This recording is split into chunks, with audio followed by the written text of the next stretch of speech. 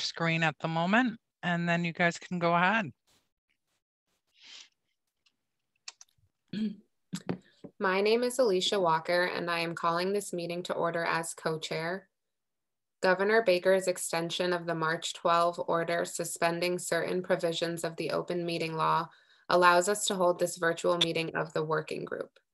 Given that we have a quorum present, I am calling, oops, sorry. I am calling the October 28th, 2021 meeting of the Community Safety Working Group to order at 5.04 p.m. I will call upon each member of the working group by name. At that time, they should unmute their mic and say present. This will indicate that they can hear me and we can hear them. Please remember to mute your mic after saying present. Uh, Russ Vernon Jones. Here. Brianna Owen. Here. Deborah Ferreira. Present. I want to take a couple minutes to review the agenda. We will first hear any public comment that the members of the public want to provide to the working group. We will not respond to your comments, but we will listen to your comments carefully. We will then hear comments from members who have something to report, and then we will go into the agenda as follows. Um, A, articles and final communications. B, an update on the Community Safety and Social Justice Committee.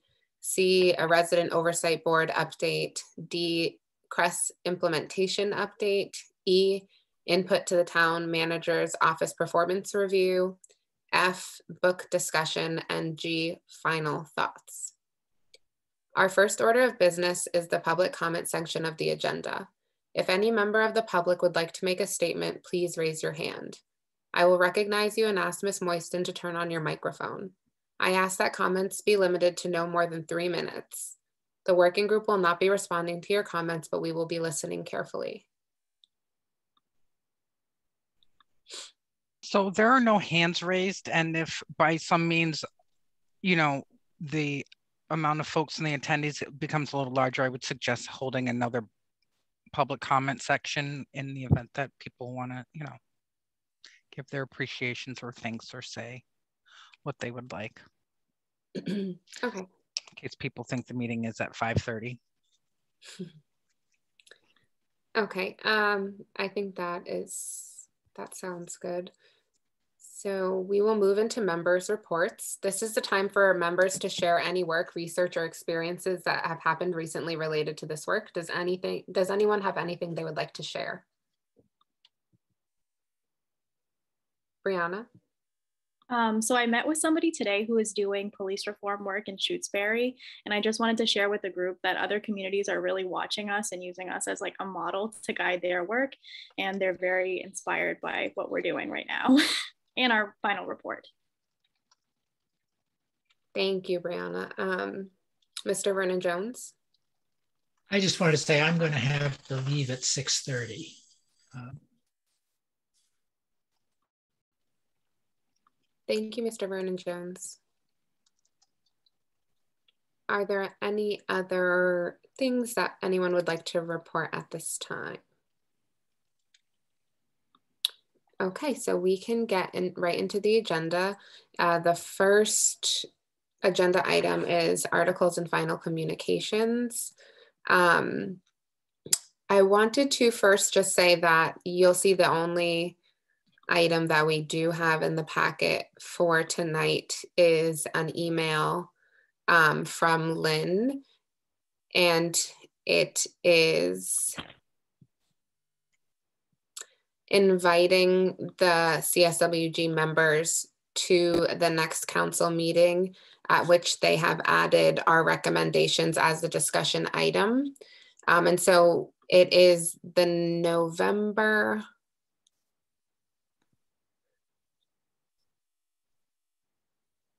I think it's the November 8th meeting. Yeah, the. November 8th meeting. Um, and so we will no longer be the community safety working group, so we wouldn't have to call a meeting to order, but we're all invited individually if we would like to be in the audience. And so um, Brianna and I did not respond to this email. We wanted to see if you all were interested and bring this to you all um, so that you were aware of this invitation.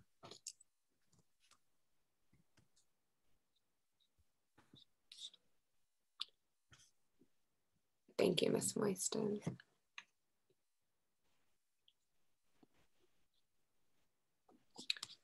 Yeah, I just have a conflict on that day. Um, because what time is it at? Six thirty? Or they? Uh, yeah, six thirty. It says uh, six thirty to eight is the time range right now. It does say that she would reach out when she has a better idea of where it would fall on the agenda. Are we talking about Monday? Uh, yes. So uh, Lynn sent us an email to let us know that the council has added a discussion on our recommendations as an item to their next meeting agenda. And so they are inviting us to attend to answer questions and comments. Um, and we will no longer be a group, so we don't have to call a meeting to order, but we are invited to attend. So I just wanted to bring that to everyone's attention. Yeah, I think I saw that that letter. Yeah. Yeah, that time will work for me. Thank you, Miss Pat. Um, Mr. Vernon Jones and then Miss Owen. I can't get there till seven, but I, I would plan to come if at seven. Thank you, Mr. Vernon Jones. Miss Owen and then Miss Ferreira. Yeah, I can make it at that time. Um, I also am wondering, I know it would be kind of out of their scope of work, but maybe if we could have Leap to come to answer questions, or if maybe, because I feel like their questions are really going to be on how, what are the next steps to implement the policy changes? And I don't necessarily know the answer to those questions. Um, thank you, Miss Owen. Miss Ferreira. Yeah, so I was looking at, at it more and no, I'm not gonna be able to make it because of my conflicts, but it seems like others are gonna be able to, so I feel comfortable and you all will do us proud. Thank you, Miss Ferreira.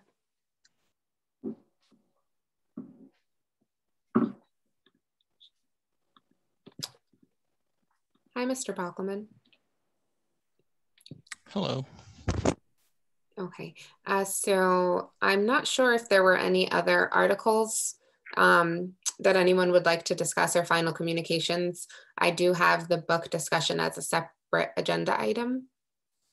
So uh, yes, Ms. Moyston and then Mr. Vernon Jones. Um, Brianna, did you or Miss Owen, did you want to reach out to LEAP um, and or Amos and ask if they can attend that meeting or do you want to take that on? Okay. Uh, yeah. So Ellisha, my and myself and Russ are meeting with Leap on Friday. So I was hoping to bring it up to them then. Okay. Able to come. I know it's out of their scope of work, so I don't know if they'd be able to, but maybe um, they could put together some sort of next steps for the policy pieces.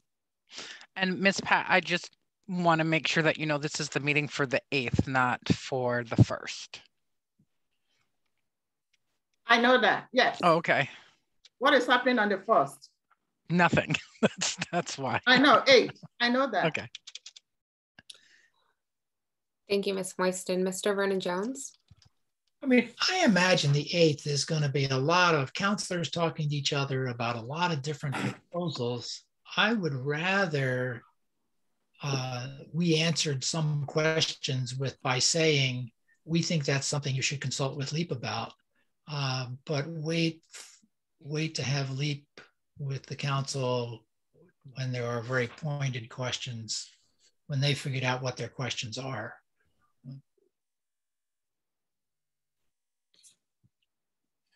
Thank you, Mr. Vernon Jones. Um, do you all want to have a conversation about where we're leaning on that? Would you prefer to have Leap or have um, Russ, Brianna, or I reach out to Leap on Friday, or would you prefer to approach it um, as Russ was saying. Ms. Ferreira?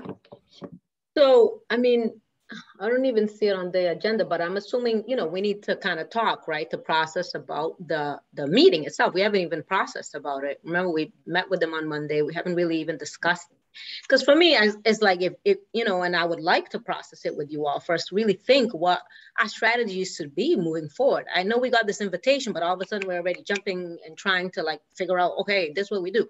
I thought we had given them a task right? Which was we gave you all a report. You all are supposed to go and look at all of those things. What can you put into place right away? Let me know that. What do you need? What do, what's what's the things that are going to take a little bit more time and why And then what are the things that you can't do because of resources or whatever, whatever. Okay. And you know, I, they need to be answer, asking, answering questions from uh, for us. You know what I'm saying? So I don't know why we're having to jump through hoops on the November 8th to go answer questions to them. We did that for, you know, two hours on Monday. so why are we having to ask more, answer more questions and get leap on and so on and so forth? You know, I gave them a directive. At least I did.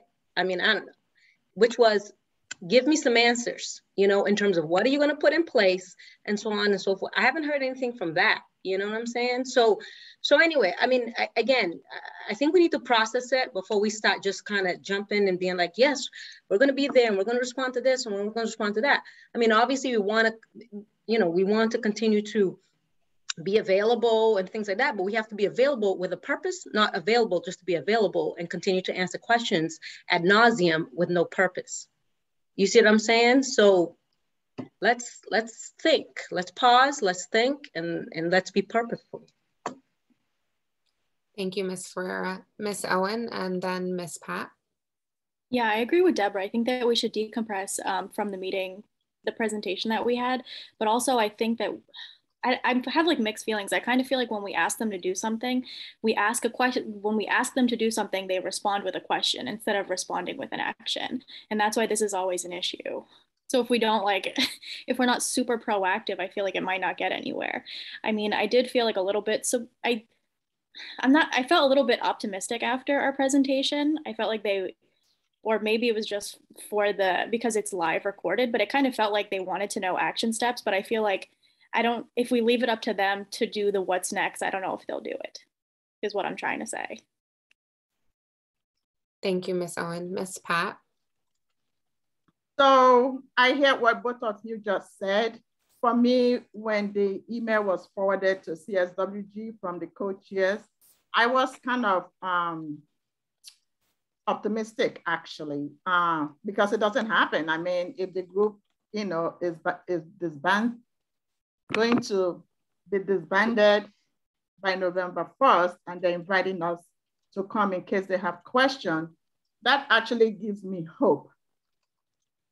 And I will hope that it will be more interactive, you know, when we go to the meeting on the 8th. I do agree we need to debrief tonight, but at the same time, I think we should take them on, you know, uh, for them inviting us I see it as a, a good thing. Thank you, Ms. Pat. Ms. Ferreira? I mean, I hear that, you know, but on the other hand, though, they disbanded us. You know what I'm saying? So it's kind of like we're disbanded and then they're inviting us to go and ask answer questions. So why didn't you just have us continue on as a committee as opposed to invite us as a disbanded group? I, am sorry. You know what I'm saying? I mean, I'm, I'm, you know, okay, thanks. You know what I'm saying? I, I, hear you that obviously we have to keep the pressure and we have to be the ones to, to make sure that it stays in the limelight and everything. But I don't see this as, oh, thank you very much. And, you know, thank you for inviting me and stuff like that. No, because again, the point of the, the, the reason why we're disbanded is because they allowed that to happen. So I want to make sure that that's, you know, the town manager and them allow that to happen.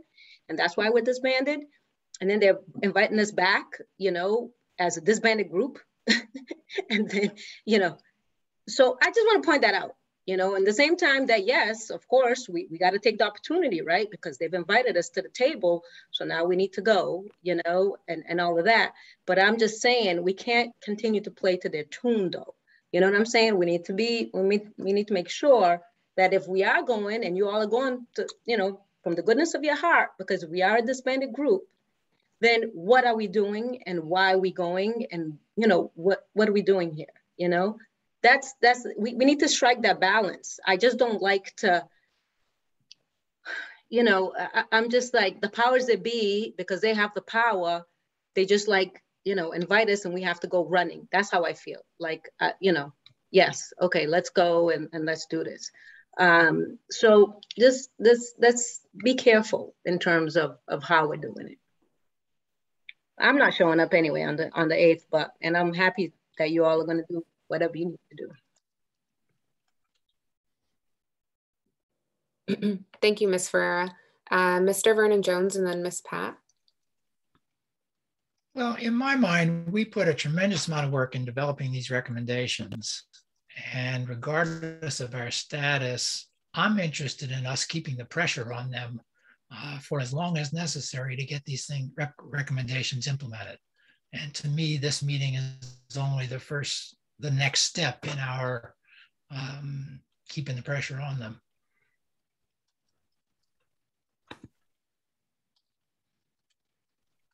Thank So you. should I go? Yes, sorry. Thank you, Miss Pat. So actually, um, when we come to the agenda item about our group in the future, and I can't speak for all of you, but my thinking, my vision is that even though we will officially not longer be in existence with the town, I would like this group to still stay as a team. I will, you know, um, like us to continue to put pressure on the decision makers, meaning the town council, the town manager. Uh, we'll still be around. We will not be an official group, but I don't see us going away anytime soon.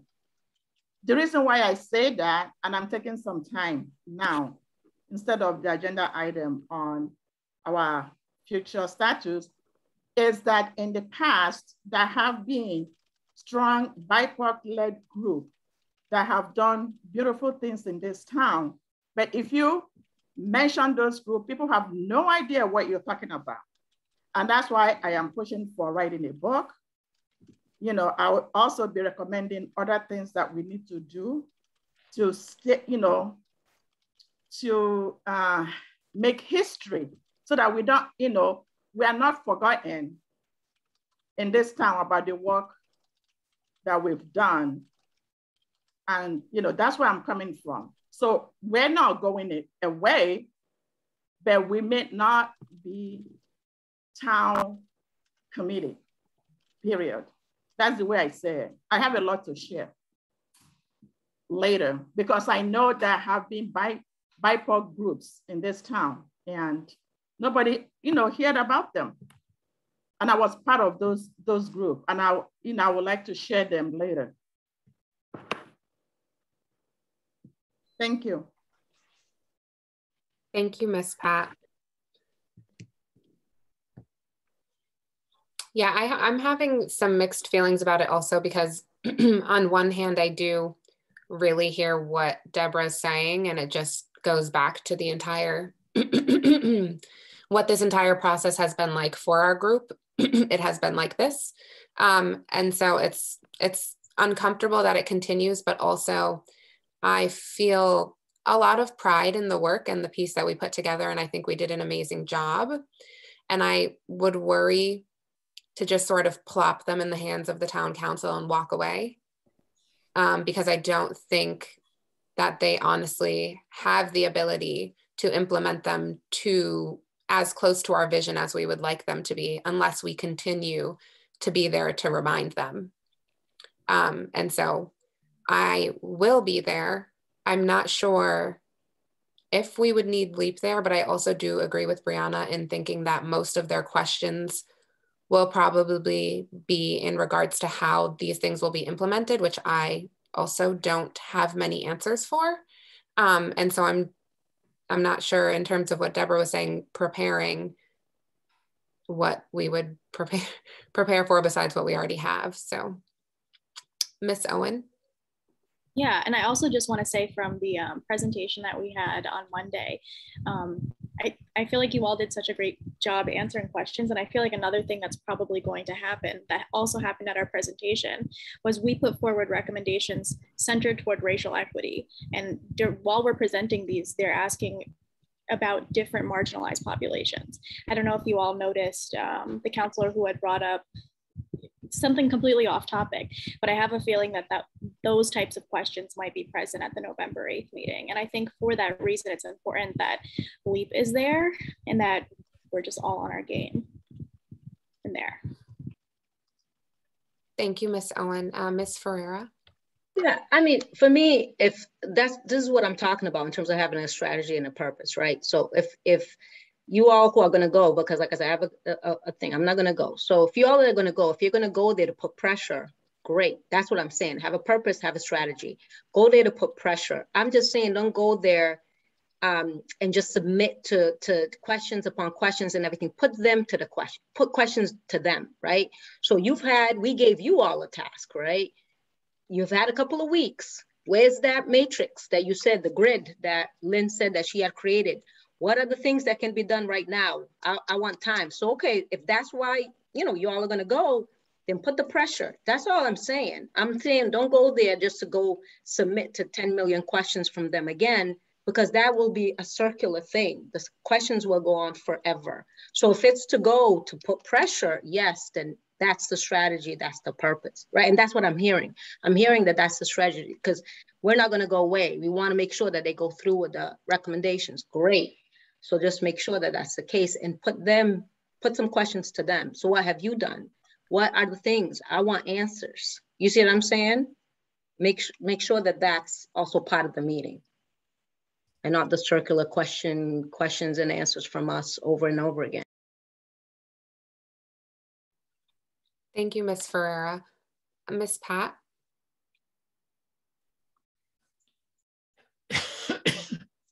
Wondering if part of the strategy by the town council maybe it has to do with the, you know, the beginning of budget season. Maybe they want to hear from us. I mean, we've already told them we need two buildings and the CRESS needs to be fully funded and other stuff. But um, I doubt that we will complete everything on the 8th. If, um,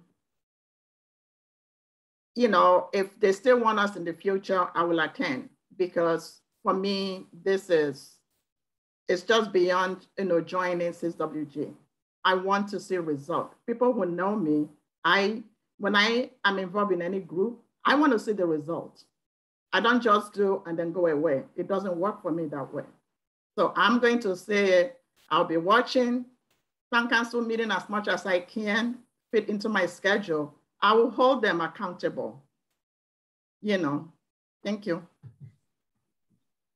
Thank you, Miss Pat, Miss Ferreira, and then Mr. Bockelman. Well, yeah, that's what I, I have a question for Mr. Bockelman. Maybe you, you're anticipating my, my questions, um, Paul, which is, yeah, I mean, Ms. Pat just brought up some questions, right? So what what is the town council? What's the next steps? You know, what are what what are they going to do? What are they going to do with our recommendations? What are the next steps in terms of them doing? What's the thought in terms of why they want us back on the November 8th meeting, right? So that we can be again more purposeful and strategic around it. Um, and also, and I know that's not a thing. I mean, you know, when is the next group going to be on? You know, would be my question. But go ahead. So thank you. Yeah. So I think um, the the um, the next task is to build out Lynn's uh, matrix of all the things that were recommended. Um, what does it take to um, move them forward? Who is responsible? What would be a time frame? It's that type of thing, and I think that's what she wants to present on the 8th and that's the first conversation for the council to say which ones are which things are we prioritizing where are the accountability methods and all that stuff so that's uh, you know she has already taken the first cut at the, the matrix and i think that's the, the mission is to get that in front of them uh, the cswg was invited as much you know because this is your your baby. And uh, if you can attend, great. If you don't, I don't think they won't. They would take offense at that. I think it's it's more, um, you know, what is your capacity to participate in the conversation. Um, but I think it will. I think whoever said earlier that it's really going to be the counselors talking to each other about what's what are they valuing and stuff. There might be clarifying questions. Um, I don't know. Um, because we have not got talked in talked about that. Everybody's kind of focused on Tuesday, um, so there haven't been a real a lot of uh, conversations about that yet. That'll happen next week most likely. Um, so, and in terms of the successor group, um, Ms. Ferreira, so we have Jen, like five people who've submitted CAF so far, I think. So we need to do more recruiting for that group. Is that how many do we have? I think we're up to about seven now. Seven, okay. Yeah, we might be able to go ahead and, I, you know, my guess is we want to be able to have options of people to pick, not just take the five that apply. Um, so I would suggest tomorrow that you go ahead and take a look at the okay. forms. And I, so, I, so I think what I encourage everybody to keep recruiting and getting people who might want to serve on it um, to put their names in, and we'll follow pretty much the same process. And again, move that forward as you know, since we get our, our candidate pool that's adequate, then we move forward on that. Um, so yeah, and and the reason I'm here tonight, and I'm not going to stay here the whole time because I know you have a lot of work to do. I just wanted to thank you um, for the work that you did, and um, you know this. I never anticipated that we would move this. You would you would move this community as far as you did. It wasn't easy. You have done more in um, a year than anybody should would rightfully expect it, and it wasn't an easy task. You were you paid a price in your own personal lives for it. I know, and um, uh, it's but like the the sort of distance this town has moved that I have moved is just remarkable. I know it's not enough, it's not far enough, but um, I do want to congratulate you and thank you for the work that you put in.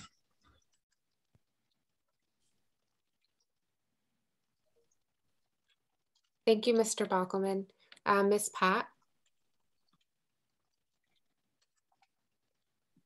Ms. Pat, you're muted. So, uh, Mr. Bockelman, thank you for your kind words. And I know it has not been easy, you know, um, there has been ups and downs. As a resident who have lived here for a long time, there was another group actually many years ago, and my group approached the then town manager and sought help. We did not get that at all. And I know that um, our process with you here may not be perfect, but it could have been worse with somebody else. So thank you also. That's all I want to say. Thank you, Ms. Pat. Ms. Ferreira? Ms. Bockelman, I have some other questions. Um, so you talked about like the process and the matrix and everything. So if there are things or, or are they going to be, I'm assuming, like things that will be like voted on, uh, resources, things like that. So I guess, will they talk about some of that? And if they do talk about that in the next meeting, when is it that those votes will need to happen? Um, resources would need to happen, you know, more information in regards to those things. Yeah, really good question. So um, one of the things is to say is you know, with all on the matrix is is there budgetary impact? You know, and what kind of what kind of funding would we need for any of these items, and where would that fit in? Is a capital item? Is an operating budget item? And sort of categorize where where are the next steps. The council has not agreed. You know, they've they've received your report, but they haven't said yes. We're saying yes to everything. So I think we should be clear about that. Um, and that's what they need to decide as a council is what what are the things you want to move forward on um, which ones are negotiable items we just we just want to identify all the issues so they can start to have a, a frank discussion amongst themselves about that um, so I, I, think it's really going to be about a process that maybe they'll talk about i mean i don't know what they'll who knows what they're going to bring up right? Um, but i'm looking at it as they're going to have a matrix in front of them and they're going to start to look at these things and discuss what does it take to do and they're going to say we want to do this one we want, want to do that one. Um, and the budget is it's timely. They will be talking about their financial guidelines during the month of november and that's an important document. November 15th we do a budget a financial indicators presentation from that. They take that information and then during the rest of november and early december they will set up financial guidelines for us in terms of what we can afford to do and sort of goals for the manager. Um, so um, and so all this will be flowing together all around the same time. And and then they also have to handle what they can do as a council this term plus the new council coming in on january 2nd what they're going to hand off to the new council thank you mr bockelman ms ferreira yeah i have an, another question mr bockelman so um, since the group you know the majority of the group and obviously for me too you know i, I want to stay engaged um, um, so since the group wants to stay engaged, wants to continue following everything and keeping a close eye on everything, um, will how will we, since we're disbanding, it, will the town council still contact us, you mm-hmm. know, emails? I mean, when they need us to talk about different things like they did, you know, for this November 8th?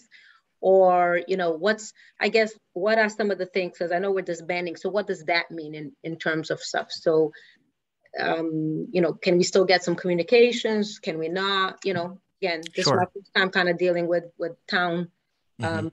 committees and groups. So how does that all work? Yeah, I think the, the council um, recognized where they failed previously with, with the count, with the working group and they're, that's, they're, they're attuned to that. And, um, you know, they know that you, are you're, come November 8th, you won't exist as a committee. That's why, but the, the email went out to the group to invite you if you wanted to participate. Um, and I don't know what, I mean, one of the councilors in the meeting said they'd want this on the agenda every week, every, every council meeting. They want an update every council meeting. That might, uh, what that looks like. And, you know, if it's just a, an update, you know, where if they're going to talk about it every, every council meeting or not, I just don't know. I think they will make those kinds of decisions on, on the eighth about how they're going to allocate their time to this, to this topic. Thank you, Mr. Bockelman. Ms. Owen? Um, I guess I just had a question about us disbanding in regard to the implementation of CRESS. I know that we've used these meetings to report to the group what's going on, what's next, and other group members have been critical in providing feedback and perspectives that has moved the implementation team forward. Are we going to keep the CSWG email? Are we allowed to report to other group members what's going on, even though we're disbanded? So yeah, I mean, if you if, if the people who are part of the implementation team are willing to partic- continue to participate, I think that's crucial. That's really important. Um, you're not subject to the open meeting law. You can talk to whoever you want, whenever you want, and consult with whoever you want to. And there's no restrictions on that.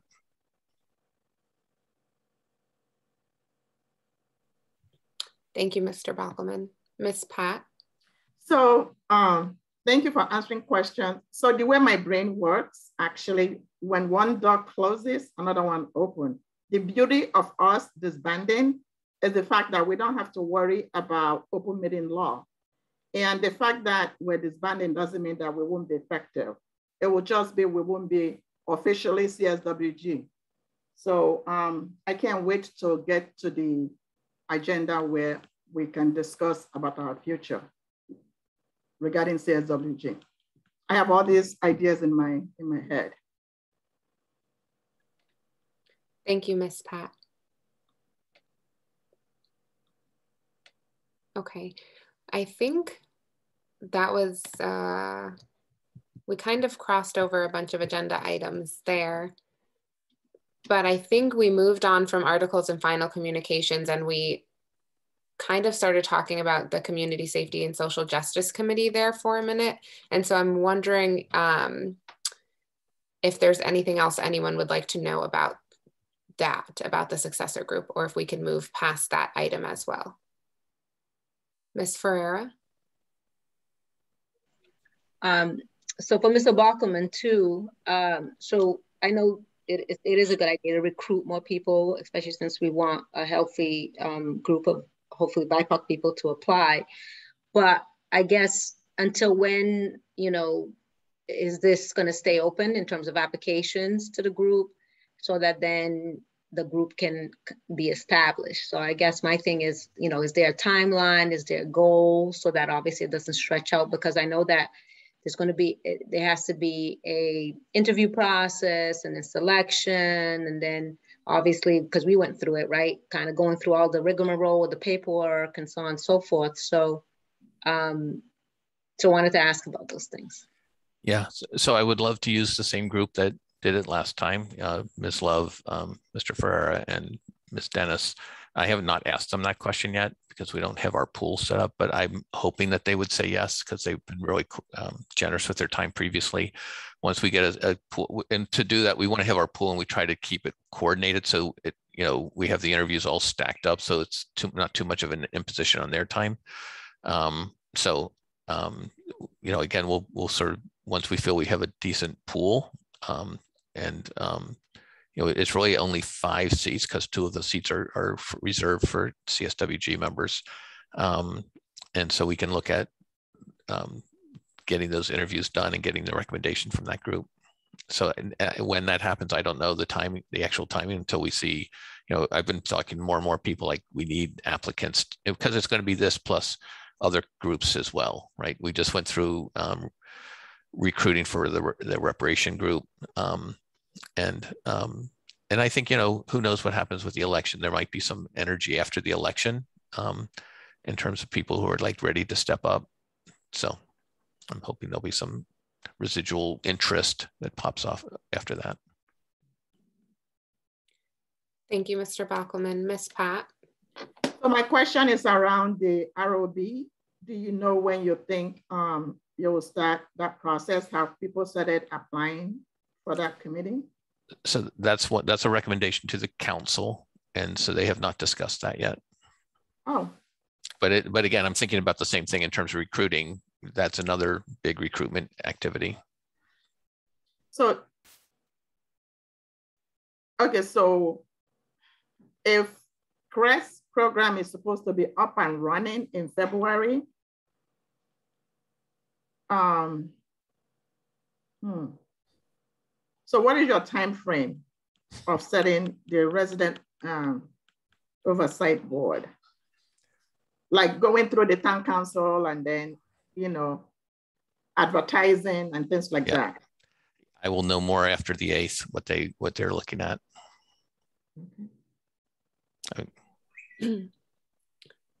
Miss Ferreira. Yeah, I think that's what again I was alluding to when I said about strategy and purpose, because from what I can tell, and Mr. Bockelman, you can correct me if I'm wrong, the, the Rob has not been voted in. I mean, That's they haven't right. created Rob. Rob has to be voted into creation. You see mm-hmm. what I'm mm-hmm. saying? So, so that's why I'm, I'm talking about. We have to have a strategy. So, you know, maybe that's one of the things that we need to kind of make sure. Hey, y'all need to vote on Rob on the eighth, right? And Rob needs to be put in place because that hasn't happened.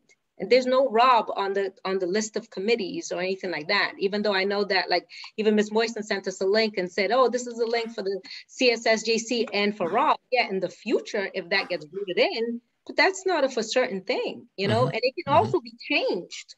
Rob could be changed. Like, so what we put together as a proposal doesn't mean that they're gonna they're gonna vote it in looking that way. So that's the other thing. They could change it all up. You know, so that's another thing. It's to say, put the pressure like Rob needs to be voted in and is to be voted in as we stated. You see what I'm saying?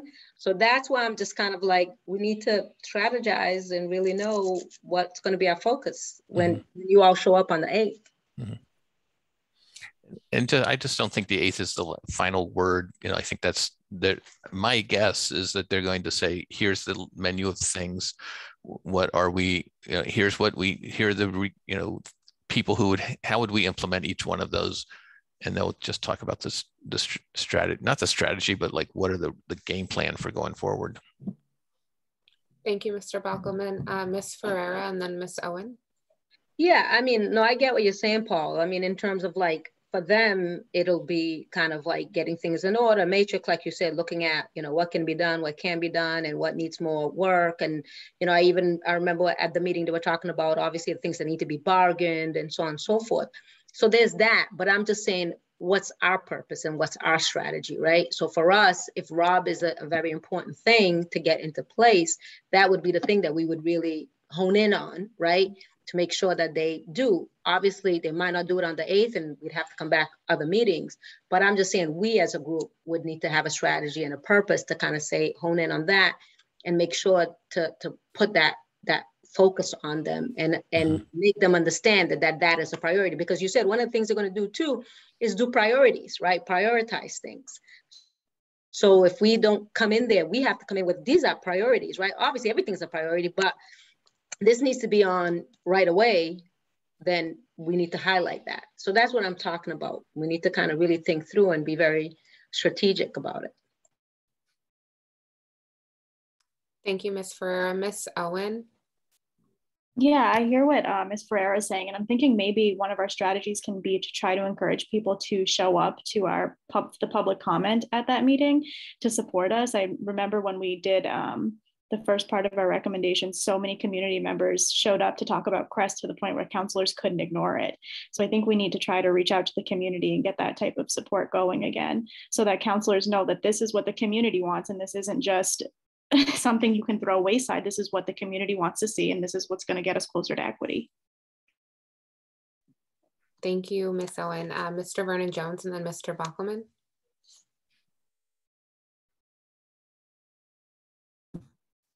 Paul, do you expect, two questions. Do you expect to have information back from the town attorney about the uh, open meeting law issues for hearing complaints and the subpoena power before the 8th?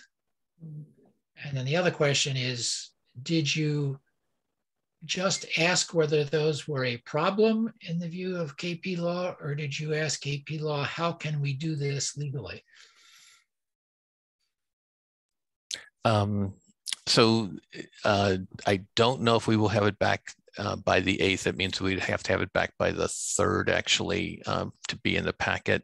Um, they are looking at all the legal implications of of the and uh, Ms. Owen just sent me the final, or I, I think it was, I just wanted to make sure I had the final, final sort of recommended um, um, uh, description or so once they see that final final because I sent them an earlier version. I, I just want to make sure that we're looking at the right thing. Um, and they so so they've already done some work on it. Um, I think um, I doubt they will have a full. It's a pretty detailed uh, kind of work that they have to do on this in terms of what would what's permitted, what's not permitted.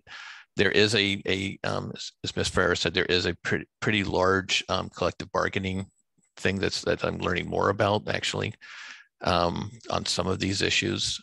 Um, so, you know, I think that uh, on the 8th, I expect to get from the council, yes, we want to pursue these things. Get me the legal opinion that you, that so we can make an informed decision. I don't, I really don't anticipate, maybe there's some, some sort of, they typically take two meetings to do almost anything because they they talk about it, then they move it, and they've already had one meeting about this, so mm-hmm. maybe they'll be able to act on their own. They feel strong enough about some some of the things, but it will take a majority vote of the council to do whatever it is they want to do. Um, and just the other thing that occurred to me is that one of the things that you as, can do as individuals is to let the president know if this comes up on my on your agenda, please let us know. Can you so that you know don't get caught off guard, don't put on the agenda without telling. Because otherwise, it's on you to sort of pay attention to everything. And you could ask them to proactively notify us when there's we have vested interest in this because we put our heart and soul into it. If you're going to put this on your agenda for discussion other than just a written update or something please let us know because we we may not we may attend we may not but we just want to know.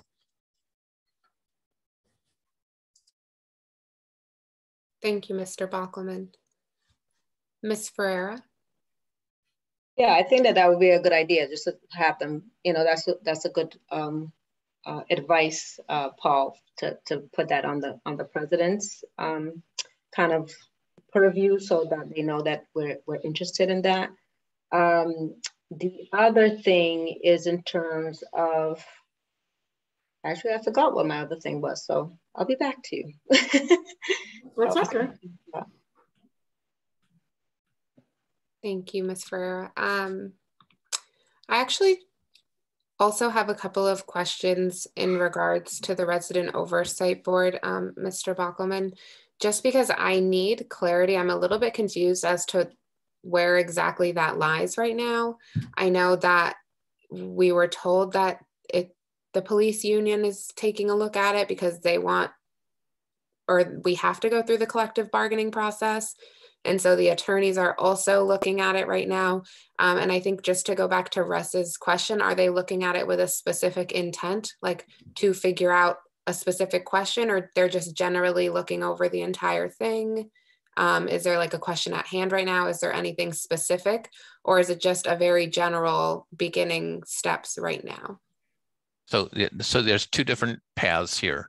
One is the um, duty to bargain under collect the state's collective bargaining law.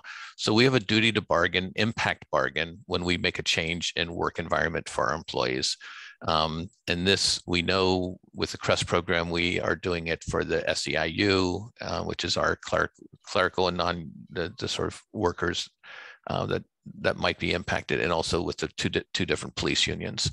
Um, we have notified them that of this, the implementation of this program. Uh, we, we have not given them details because we don't have details to give them um, but they are alerted to it and we've done our due diligence. We may need to be notifying the fire department as well, uh, the fire union as well, because um, it, um, our, our, attorneys looking at that because it may impact their work environment as well.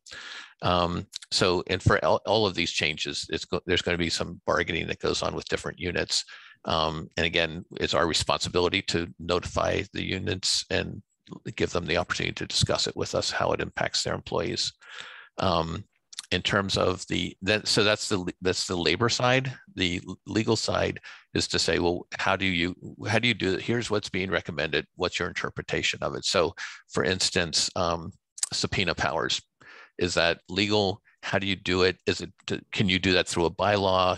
Do you have to do it through a bylaw? Can you just do it by vote? Where it, how does that happen?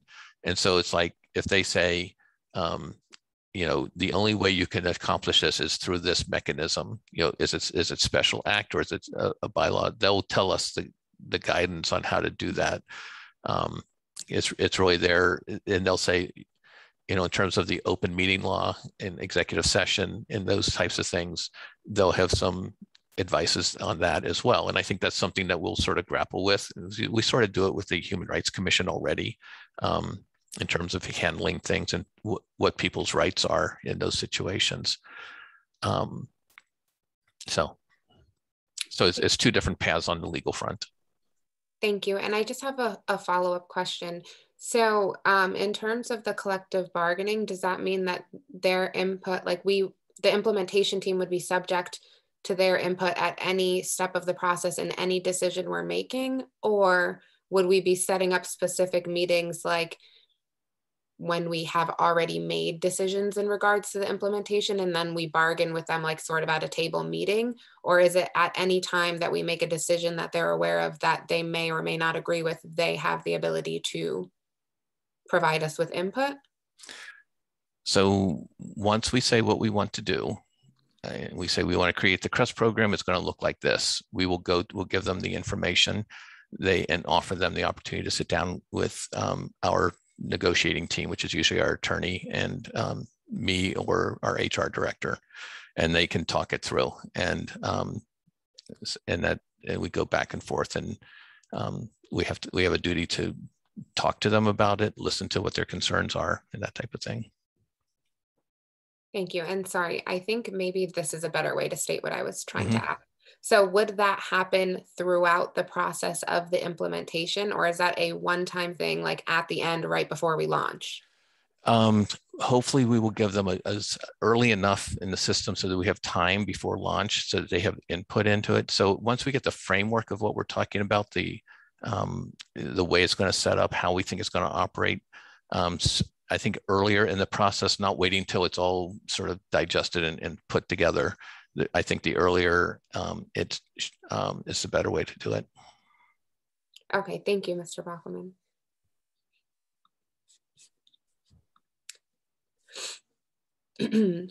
um, did any other did any members have any other questions in regards to the uh, Community Safety and so Social Justice Committee?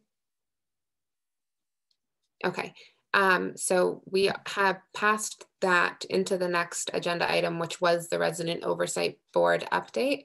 Um, so I'm just wondering if there are any members who have any other questions in regards to the Resident Oversight Board.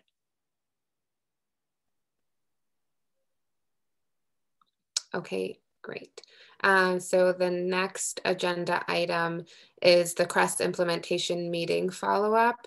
Um, and we did have, oh, yeah, Mr. Bockelman so I'm going to exit now. I know um, you have a lot on your agenda. So again, just thank you and please reach out. Anybody can reach out individually or uh, at any time to talk about any of this. Oh, sorry, Mr. Bockelman. I think you muted yourself halfway there. And thank you again. So feel free to reach out anytime. Thank you, Mr. Bockelman. Take care. Bye-bye. Uh, okay, so we were uh, going into the next agenda item, which is the CRESS implementation meeting follow-up. Um, and so I'm not sure if you all have seen that we were granted the um, equitable approaches to public safety grant, which is um, the one in which we're partnering with the ADMHA. So um, we did have a discussion about that today, a small discussion about what that will look like um, and how we have to revisit the timeline, um, but we did get that funding. So that is great news in regards to the CRESS implementation. Ms. Ferreira? So yeah, so that's excellent, you know, news to get the grant. I just wanted to kind of get a little bit more detail in terms of what that actually means in terms of, you know, concrete kind of outcomes. And also with the with the ADMHA, I mean, obviously there was a whole thing with the report and all that. I mean, so how did things end up working out with it, I guess, given that now we, we, we have a grant with them. Um, thank you, Ms. Ferreira. Um, Ms. Pat? So um, what I wanted to say very quickly, and then um, you can um, speak more about what you guys discussed at, at, uh, at the CRESS implementation meeting today. So I've had some people contact me via text and email congratulating CSWG for getting the grant. And while I acknowledge that, I have to set the record straight that it's good to acknowledge, and I wanted to make that comment publicly, that Mary Beth, the former director, and Ms. Moyston, and the rest of the CRESS implementation team and the group that I actually recommended. I want that to be like on record. I was the one who recommended the group from Springfield so that history be told. That's what happened. Yes, we have with the CRESS implementation pro, uh, team, there were some CSWG reps so it's a different group that got this grant. And I had to set a record straight with the people that contacted me, congratulating CSWG. I mean, I accepted the, the congratulations, but privately, I had to say the people that really made it happen. So that's what I want to say because so many, many times in this town, we tend to forget key players while I'm still on it, very quickly, because I'm going to forget, the block party initially was suggested by two Black business women in Amherst, M and M Link, Jamaican American women.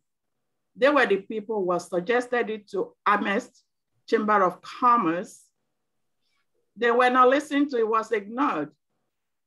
A couple years later, bid, okay? Business Improvement District took the credit that they started a block party. I just want to put that out. Thank you. Thank you, Ms. Pat. Ms. Moyston? I just have to be excused for a few moments, but I will come back to talk about the grant in more details but so I'll just be right back. Thank you, Ms. Moyston.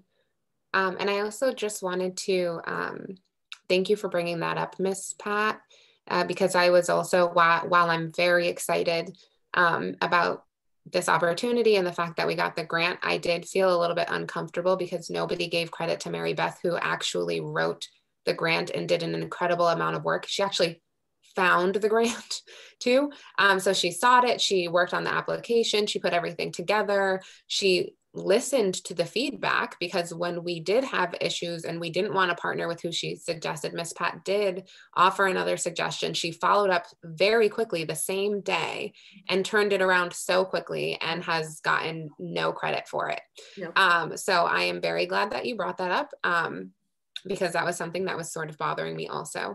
Uh, and so I also just want to publicly thank Mary Beth for all of the work that she did do while she was um, while she was facilitating the implementation team. Okay. If I may add, I also want to thank both of you, the co-chairs. I happened to attend just one meeting and I could appreciate the importance of having folks from our group being there. And I was so glad I was there that day.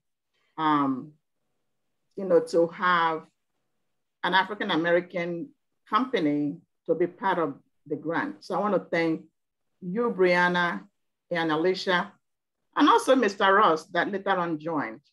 And I'm very excited to hear that you guys will be willing and continue to attend those meetings because we need you guys there. I can't thank you guys enough. I am not going anywhere in this town.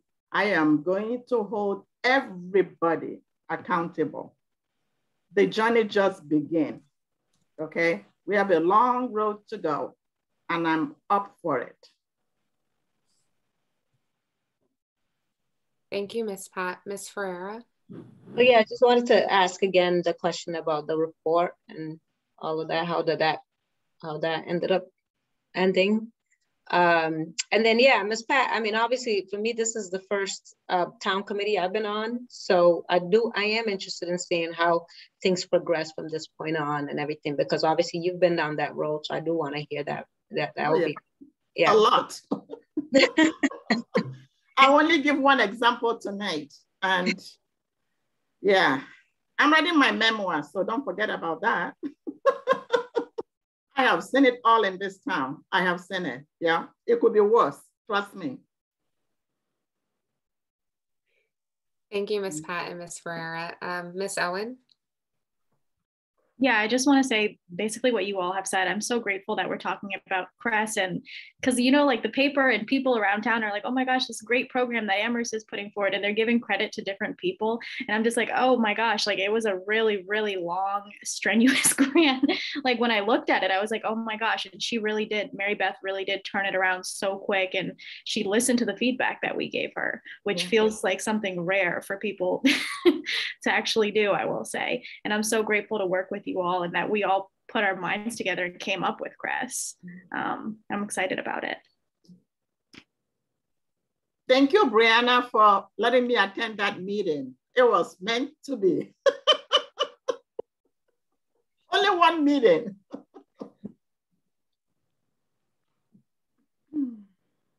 Thank you all. And then um, I just wanted to double back, Ms. Ferreira, you said you uh, wanted to hear more about the report the grant the grant report sorry which report?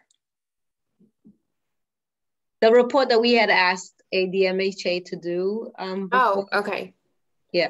Um so i miss Moyston if you're ready i know you just came back. I apologize but i would like to defer that question to you because i just have no idea as to if there has been an update um on that So what I would say about the report is that if so the report is obviously too late for the CSWG to use in their report. Um, but we could in theory extend I don't know how Paul would feel about that, but you could ask the town manager to extend the deadline on the report so that the information could be used for either Rob and or CSSJC, or we just leave it be. Um, so no payment has been received and no report has been received. So, you know, um, and yes. Have we had communication from them? I guess that would be the thing.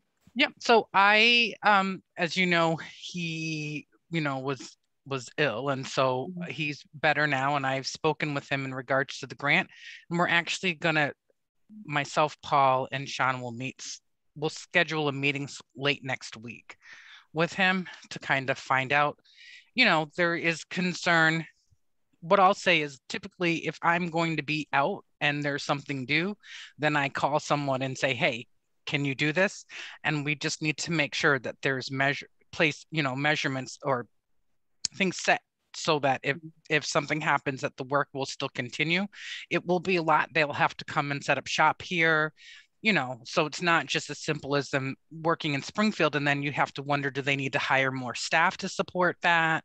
So there's a lot that, you know, will need to be discussed at that meeting. Um, and then we'll be able to kind of reevaluate from there. Thank you, Ms. Moyston. Ms. Pat? So what I would say is that it's a miracle that LEAP was able to produce for us because of the time frame. I know based on the Part A report, we did have a group that actually wrote, wrote us saying that they couldn't even, you know, bid on it because of time frame. So I'm okay um, if the town extend a deadline for them and perhaps the new, the new, the new standing committees could take a look at it. Perhaps it might be beneficial um, to use, but I wouldn't like not continue to contract with them.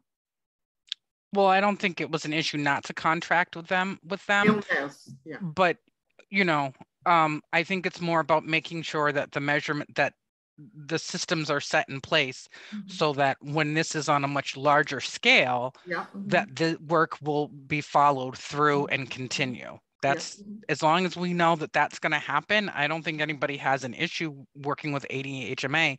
It's mhm. just that we have to be certain because it's a lot of money. It's not a little bit of money, it's a lot of Yeah. money. Yeah. Right. And so then if it doesn't come through, and then we're liable to Mhm. DPH for that amount of money mhm, if it doesn't work out on their end. Mhm, Right. And so that's, Yeah. you know, simple Yeah. business right Yeah. there. So Mhm. that's all. Yep. And stuff happens and life happens, but we just need to know that while that happens, stuff will still get done. So communication issue. It Yeah. sounds like, okay. Well, I mean, and so, and we understood that we asked for a lot. Um, A he- lot, yes. We did, and he said that he went back and worked with the, and asked the partner, and they went over the contract to make sure they could do it. And then he fell ill. So I, you know, I don't, you know, and So- then that was just kind of that. So, yep. I remember, I, I believe it's in, in one of our meetings, clearly that they may not be ready, they were asking for extension, even before we heard that he was sick. Well, that was the same was- conversation. It was the same, okay, okay. Yeah. I heard that, you know, they will not be able to meet our deadline. Yeah, that was the same conversation. So, which is also another reason why we're kind of like, well, let's see if the if the in, information that we would be getting is valuable to the next standing committees, then we can extend it out.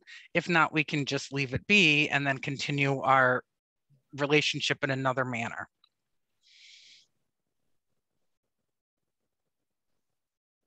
Brianna.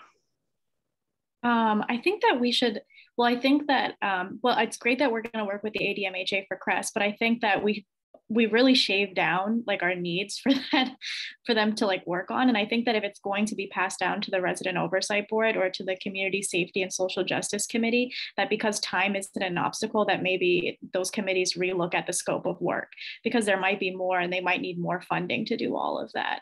Um, I just know that that scope of work was really shaved down and the timeline was super, super tight. But if we do it, we should do it right. Right, I agree with that statement, and I just, I don't know how that relationship would change if, if it's just addition, an additional contract to a larger contract that we have.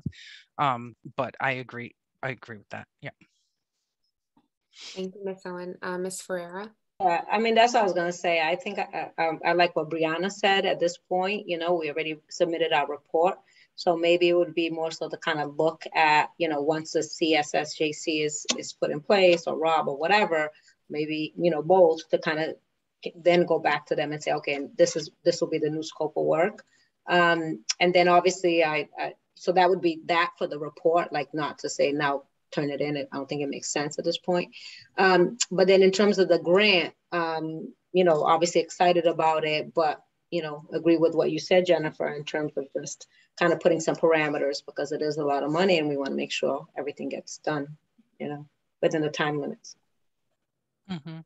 Right. So the first report, it has to be due in three months for the grant. And, you know, in three months, hopefully we'll be close to somewhat rolling out so that, um, and that's when we will need them to be fully mobilized here in Amherst for us. And, you know, and honestly, when you think about it from a business perspective, um, outside of just the town of Amherst, it would be the only BIPOC health services available on this side of the bridge all the way out through Greenfield, right? So you you're going to take on Hampshire and Han- Franklin counties um, fall within that area, and so there's a lot of possibilities for growth there.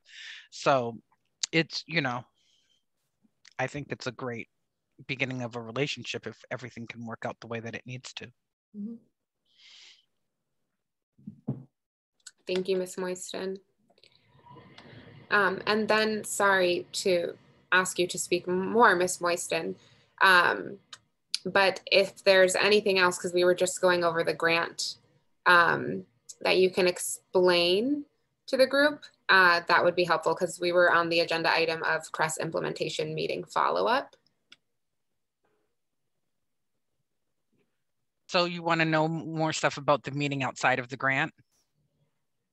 Or with inside the grant? I'm no, sorry. within the grant. That's what I was asking. Uh, just more information on the grant itself. So I think we probably need to have some more community engagement. Community engagement is a big piece of the grant, right? And um, you know, the struggle with community engagement right now is that half of the people don't want to be in a large crowd right now because of you know COVID. So that does put a little bit of um, restrictions on how we can do that outreach as far as it go as it is going to the community versus having the community come to us um, and then also so this this grant requires for us to have a program manager or project manager in addition so the director the town is is is paying for but the program the project manager and then the transitional assistance counselor will be covered under the grant. So the transitional assistant coordinator will work in the same manner a little bit as ADMHA will, whereas, you know, if someone is coming from having it from the hospital from having a mental health crisis that that person can help get them the resources that they need to move forward and be successful um, the program manager the project manager will work solely within the parameters of the grant, more or less. The grant is very detailed and there's a lot of communication between the Department of Public Health and a lot of uh, meetings with the Department of Public Health that the we just wouldn't want to put on top of the director because it would just be too much. And so to actually to have the project manager doing that is very helpful. But it will be a temporary position. Thank you, Ms. Moyston. Ms. Ferreira? So just wanted to point it out that we're at six twelve and I know um, uh, Russ has said he needs to leave by six thirty. So I don't know if there's anything that we need to kind of talk about before Russ leaves. Just wanted to put you, put that on the scope since this is our final official meeting. Uh, thank you, Ms. Ferreira. So it, right now we're on the CRESS implementation meeting follow-up. The other agenda items left are input to the town manager's office performance review, the book discussion, and final thoughts. Um, so I don't know, Mr. Vernon Jones, if there were any of those discussions that you'd hoped to be a part of, I would be comfortable with skipping to them on the agenda at this time. Um, no, I, I don't think I need to be involved in the other things, but I would like to say a few final thoughts myself. Um, you know, this has been an amazing experience for me. Uh, it's gone much longer and been way more work than I ever expected. but I have learned so much from getting to work with, with each of you. Uh, each of you has personally impacted you know my understanding of the world my understanding of racism uh, and you know and and also touched my heart as we've built relationships with each other and i just feel you know so grateful and appreciative that you you know, as the one white member of the group, you've you know included me fully and taken me in and engaged with me and let me express my opinions and you know go back and forth. And um, i you know this has been a you know really just a very important experience in my life uh, for me personally uh, as well as the bond i feel with all of you because i think we produced two really magnificent reports with uh, the potential for tremendous impact uh, in the town of Amherst. And I just feel so honored to be a part of our work together and to be, um, you know, now linked to each of you. Um, and totally aside from our need to keep pressure on the town council or whatever, uh, in my mind, uh, you know, we're, I don't know how much we'll get together, but we're a group forever in my mind in terms of the relationships and what we've been through together. And I just so appreciate each one of you. If, um, Thank you, Mr. Vernon Jones. Uh, Ms. Ferreira, then Ms. Pat and Ms. Owen. Yeah, I mean, obviously, uh, Russ just wanted to say that it's been a pleasure working with you. I mean, obviously, I don't know what we would have done without your, uh, you know, just being willing to do the most of the writing for the two reports and uh, being willing to be open to feedback. And as a you know white male you know obviously you know being really able to kind of know how to navigate you know the fact that um, this was obviously different in terms of impact for us who are of color you know who are bipoc um, and being willing to hold that space too um, definitely appreciate it. Um, one of the things that I hope before you leave is for us to just set the date because I, I, I run other meetings and if we don't set a date of, about when we're going to get together to do that celebration and margaritas and stuff, it won't happen. so before Mr. Vernon Jones leave, we need to set a date. Uh, but anyway, just wanted to say thank you. And I, I do, I think we're going to be, we're a forever group, right? Thank you, Ms. Ferrer. Ms. Pat? Okay, so you have 15 minutes to leave. So I'll be really, really quick. First, I want to appreciate all of you and also appreciate our members who are not here tonight. You know, I really admire Tashina's, you know, courage when she, you know, she speaks. And Darius, you know, had worked behind the scene. I always, you know, check in with him. He knows what is going on. It's just his schedule and sports. And, you know, for Jennifer, you know, being a town employee and then being a woman of color, I know it's been not, has not been very easy. Deborah, I get to know you. Um, I know of you before, but I felt that this group has brought us together. And what can I say about Ellisha? Ellisha, I've known you since you were a baby. Your mom is like one of my close friends and your younger brother, like the best friend of my daughter. They play sports together. Your brother came to my house. Many men literally grew up in my house. And Brianna, like a daughter too, um, just excited. What can I say about Mr. Ross? Like I've known him with two people, um, uh, partners in crime from Fort River School. um, he is being um, humble to say that he's learned a lot here, and that could be true, but he has been steadfast in pushing for social justice. So when I, the first night when we met and when we, when I read the people who are going to make up this committee, I saw his name. I'm like, this is a black brother. Let's put it that way. That's how I felt. So thank you um, for, for being in the part of this process. And if I forgot anyone, sorry, I apologize. You know, the town manager again, um, because of my experiences with different groups. Um, in terms of this group, this is what I'm, I'm thinking, that we retain CSWG, maybe add something like team, we get um, a nonprofit organization status, that we write a book, that we have a yearly reunion that will include our families, our friends, that um, you know, what we've done is historic. I won't be surprised if other communities will be reaching out, that we'll have our own website, and that when we do our book, we won't do it all by ourselves, that we fundraise, you know, to help pay for the publishing of the book. And whoever donates to us, like have a minimum amount, people can donate. So when we publish the book, we have a book signing party and we give people, you know, who donated, you know, books. In addition to that, we will donate to libraries, okay? Our nonprofit status, we can monetize. There's nothing wrong with that. I'm a businesswoman, okay? So we're done with the town. So we need to continue to be together. I'm a businesswoman and I'm good at it. And so you all, you know, have such an incredible amount of skills that the country wants. So get ready. I also envision this nonprofit group to be a watchdog to our elected officials, to hold them accountable, for us to stay active. So I can go on and on, just my, my brain is like burning.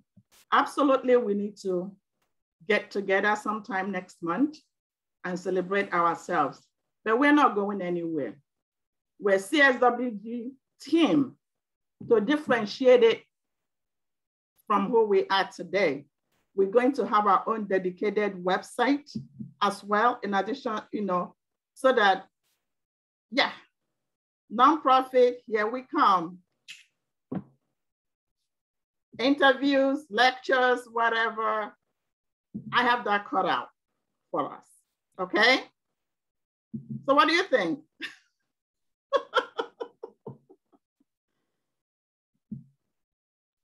I know that Brianna wants to speak too, so I'll be very short. I just want to say that the reparations group is trying to do a book, and so they are actually merging, going to work with Amherst Media so that they can, you know, videotape the process of of making the book um, and have it digital, as well as we can also apply for a grant through the Amherst Cultural Council for funds for documenting this. So.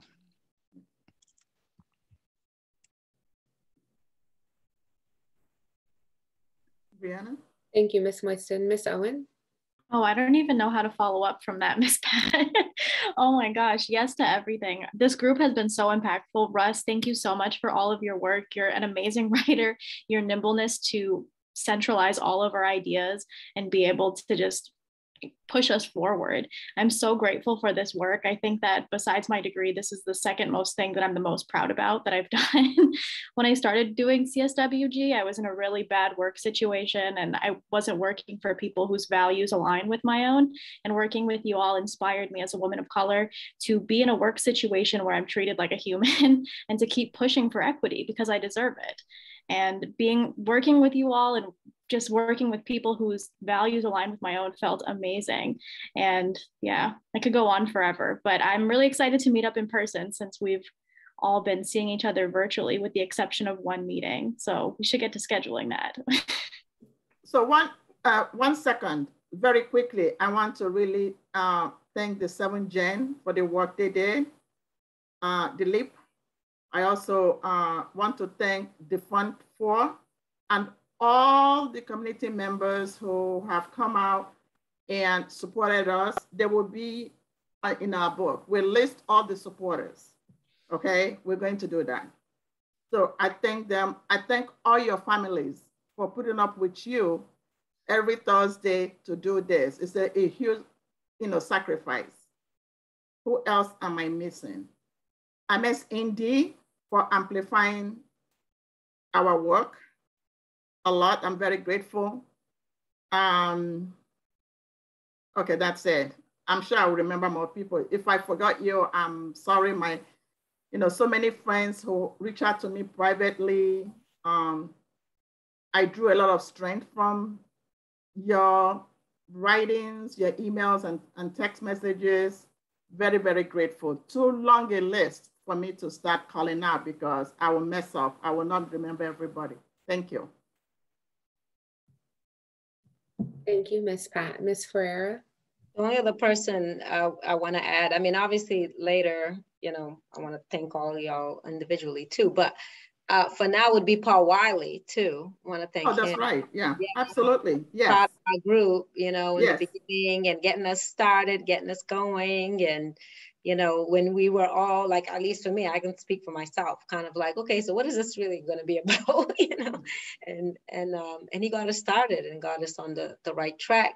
Uh, until then the dynamic duo came in, which was Brianna and Ellisha took over. Uh, Spice it up. awesome. Yeah, they, they took the next level. So, but want to give my uh, my thanks to Paul for getting us started. I, I, I, I agree. Thank you. I knew I was going to forget people. Yes. Thank you, Ms. Ferreira. Ms. Moyston? Yep, I want to leave you time, Ellisha, too. But Russ, um, I'm just going to say this because you're going to leave. I it was so nice to work with you. I what I'll say is Russ has always been a supporter of any little event that I've created that was in regards to any cultural any any culture, and Russ was always there. Um, and so I really really uh, have always appreciated that. But it was really nice to work with you like on a more one-to-one basis and i look forward to the work with the implementation team that we're going to be doing on and i think that you you do help move us along right like because i think sometimes the group will get kind of stuck in conversation and you're just kind of like yeah okay guys no we in a very nice polite way say let's move on and and th- that's not the issue so um you were an e- you are an excellent writer and i appreciate all the hard work that you've put into this group and it was an honor to work with you really it was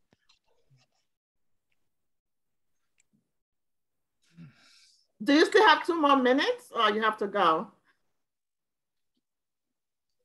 What? It's Can we seven- oh, schedule- oh, so he Can to we schedule the the at least the when we're going to meet in person? I can send a doodle poll Let's do that. Yeah. Okay. Let, you want me to send do a that. doodle poll So what I, what I wanted to share, and Mr. Ross, you're free to, to leave if you have to go, is that um, I have been involved in so many groups. I will give one quick example. How, how many of you have heard about multicultural families of Amherst? Be honest now. You have, okay. So, so this group um, was made up of Black women we went to a conference in Springfield and a state agency put on a conference. So we went up, you know, we spoke up at that meeting, at that conference. And then after the meeting, after the conference, they approached us and said, you go back to Amherst, you know, gather, organize, we will fund you. The state funded us. That's the short story. And we hired staff. I went and approached the town manager at the time for us to rent. I want every, everybody to listen up, please. So the, uh, to the town manager at the time and said, this is a group of families, multicultural, white, Hispanic, Asian, Black, but it was led by Black women. If we could rent a space at the banks,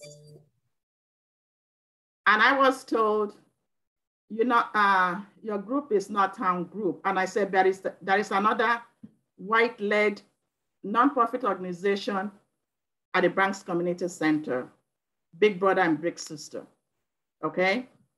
So what is the difference? I did not get good explanation. I was told town meeting, going through, um, not town council, what did they have at the time? Um, that's another body. We didn't go through that, but we didn't get any reception from the town manager at the time. Okay, that's one example. We tried to do some PR in the newspaper. The, the families are families who have kids with special need, okay?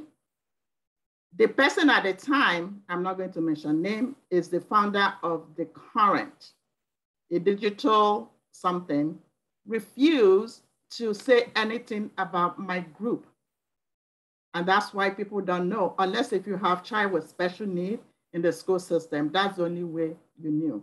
And that program was not only impactful, I mean, I made lasting friendship. Not through SEPAC, it was through Multicultural Families of Amherst. I'm, I'm sorry, very, I yeah, do need to go. Uh, huh? I do need to go. okay, thank Bye. you. Yeah, yeah. Bye. I look forward to our being together. Sure, yeah. Bye-bye. Bye. So that's just one example. How many of you here knows about Black Business Association in Amherst? Nobody knows. And I can go, there used to be a youth program called YAC, again, led by Black women. What is it? The school stole the grant, not stealing, but, you know, and I can go on and on. So to have CSWG, I want this momentum. I know the town manager has not been perfect, but if we had the town manager we had then, we would not be sitting here today, is my point, because I'm speaking from past experiences. Thank you.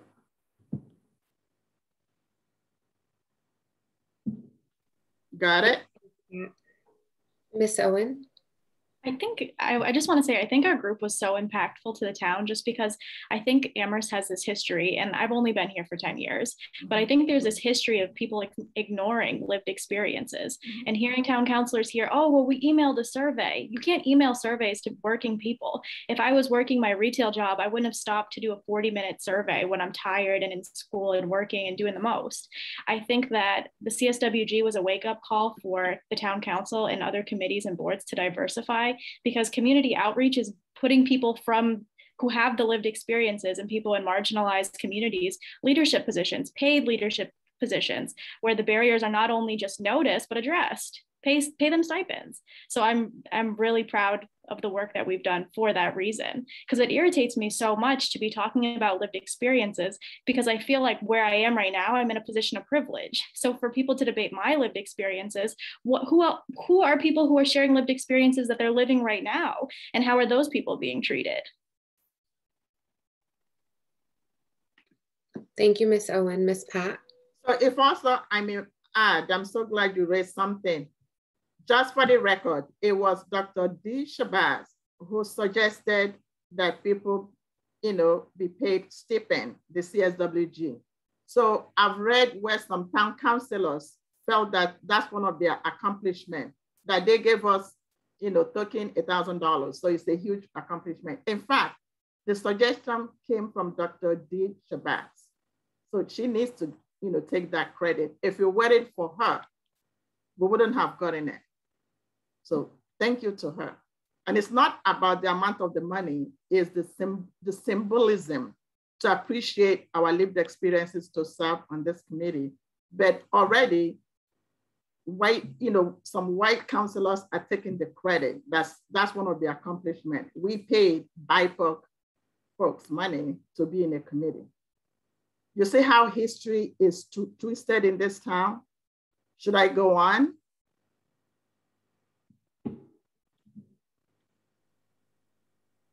Thank so you. I'm, I'm wondering, do, do we want to reflect on our last meeting or are we, you know, at town council or? Um, yeah, I would be happy to do that now. I think uh, we haven't completely been following the agenda here, yeah. mm -hmm. but loosely, if we were following the agenda, the next discussion would be the input to the town manager's office performance review. But if you all would rather uh, reflect, I'm okay with that as well. Uh, Ms. Ferreira? Well, I think we should probably do that like the town council performed. Let's get that out of the way and then reflect because then that will kind of be go into kind of our final thoughts and stuff like that, you know? Okay, awesome. And so I don't really know, and Ms. Moyston, I don't know if you can be helpful with this because I've never done a town manager evaluation before, how um, we can submit this. Can we submit one as a group? That's what I would recommend. Mm -hmm. That we, yeah. We're Um, no longer bound by. no, We you're do- no, We can do it over the, over online. Sorry. Yeah. Um, so it's one of those things where it things have always been done one way for a very long time. And that's one of the things I'm most proud of this group is that you've shown the gaps in the areas where things have been being done for so long, one way only. And that maybe that way is just not valid anymore because times have changed. The people at the wheelhouse have changed. So typically, I would say, you know, even committees and boards individually, mem- members do them separately. But I don't know why you couldn't do it as a group either. Mhm. So that's, I mean, I, I can't give any more really advice to that outside of that. Thank you, Ms. Moyston, Ms. Pat, and then Ms. Ferreira. So when I first saw that email from uh, Ms. Lane, I, you know, my immediate reaction is it would be cool to do it as a group because we know exactly what we're going to say, Mhm. you know? So not, I wouldn't say exactly, but I have a rough idea what, you know, some of the struggles and, you know, some of positives too. Yeah. Thank you, Ms. Pat, Ms. Ferreira.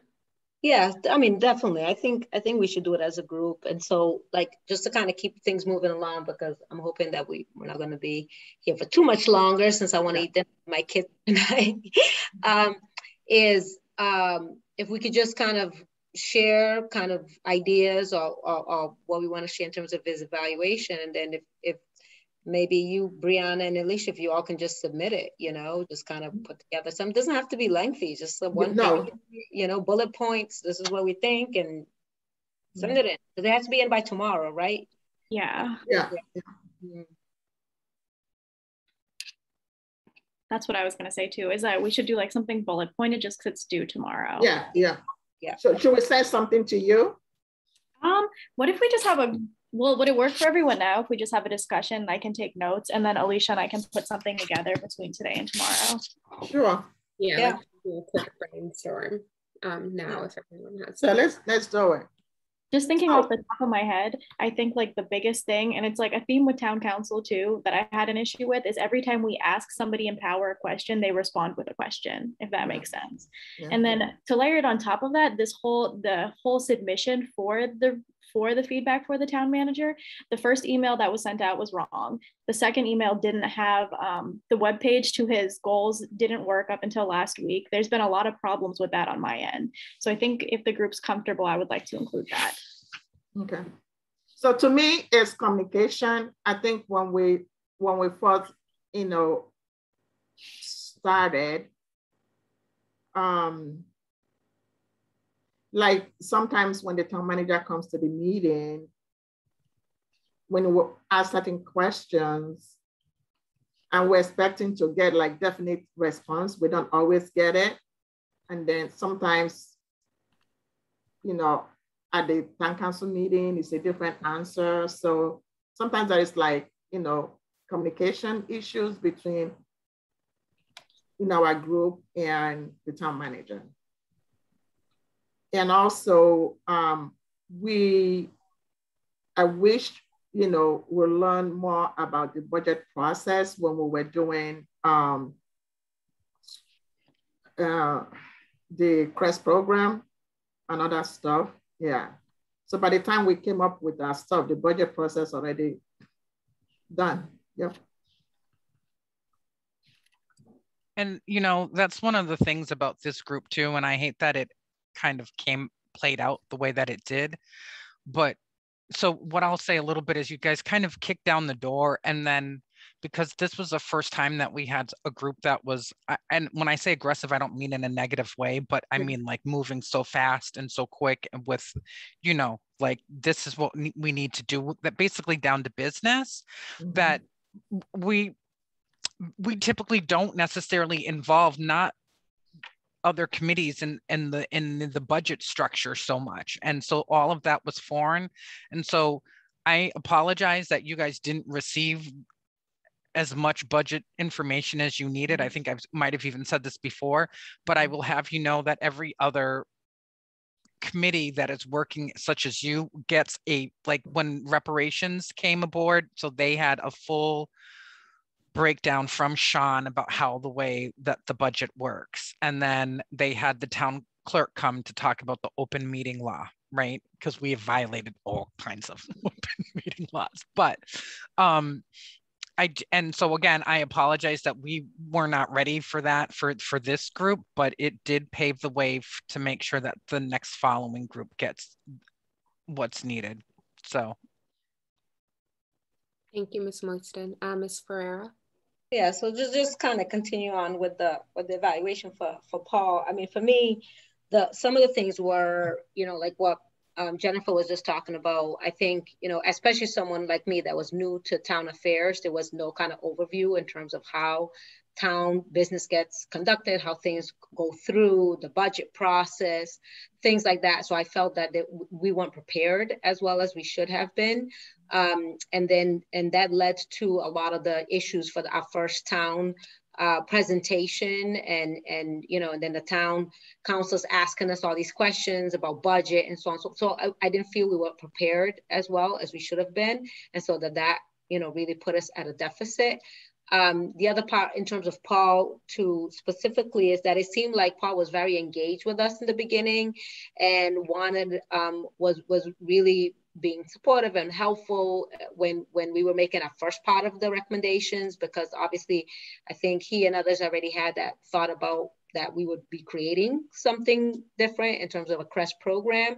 And then as we and then as we went into our second part of the process and we wanted to deal with the reforms and stuff like that, there was only the emphasis on Rob, but not really on looking at anything else in terms of the charge. So I thought that that was really troubling and a problem and should be included as part of his um, evaluation because basically we were given a charge and he should have supported us throughout the whole thing. So I just felt like, you know, his, his support waned as, you know, our work went on. And I know that, you know, some will say that his schedule change, so on and so forth, but he could have made more of a, an, uh, a try, you know, to really be supportive throughout the whole process and not just at certain points and especially at points where it got challenging, you know?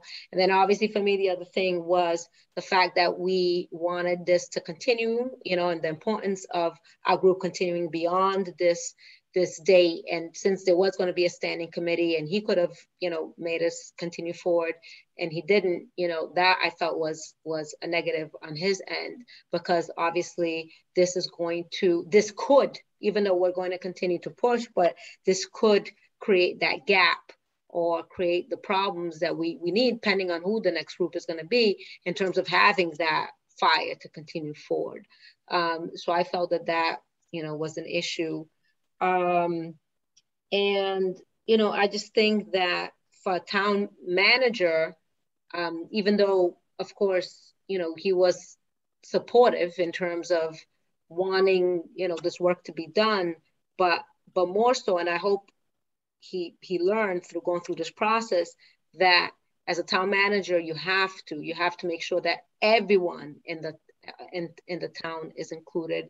Everyone's voice is included um, and i think obviously we pushed him a little bit further but i think there's more to be done in that area in terms of making sure that all voices are included at the table and, and for him to create more pathways for that to happen and not to allow budget or priorities to to to kind of set those those that's the priority. Priority is inclusion diversity and equity in this town and that should be top priority and not some of those other issues like budget and so on and so forth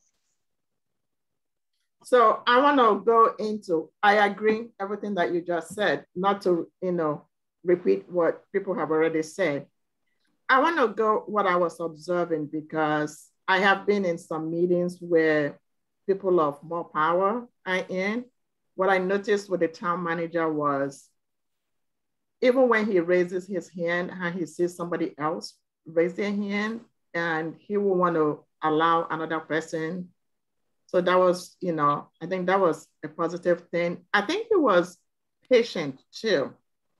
even when we're highly charged, you know, he never like raises voice. I'm not saying, you know, it's a good thing for people to raise their this thing, but he he remained like calm and very professional. And um, also, I think um, I've liked some of the comments that he's made um, to the media about the work that we're doing. Even when we had rocky relationship with him on the Part B. And I don't know, you know, what is, you know, in his mind, but I would suspect that, and I don't want to speculate here, but I think the issue of the APD wasn't very comfortable for him. I could be wrong of the reforms and everything that we were talking about. But I, I think overall, it was a mixed bag. Communication is the theme for me that I observed that was very problematic, which everybody had touched up on. But at the same time, I see a man who is willing to learn, who is growing a little bit in issues of equity, social justice, but he has a long way to go. You know, he has a long way to go and a lot to learn, but we don't know who else we will get. So um, I believe in continue to work with people that we already know and see how it goes. So that's the way I see it. Yeah. I think too, um, for me, I was just think just thinking out loud. I think the role of town council and the role of the town manager were kind of it's something that I didn't really understand until after we presented for the first part of our charge. And then I guess for me, just business practices, I was really disappointed with how the town manager treated 7th Gen. I don't know if there's history or what that was about, but I felt, I kind of felt like the town councilors were debating their research. Um, and he should have been more professional to step in there, especially since they were collecting lived experiences of people who felt who were fearful in town he should have been more attentive to those lived experiences and more grateful for the work that 7th Gen did on such a tight timeline.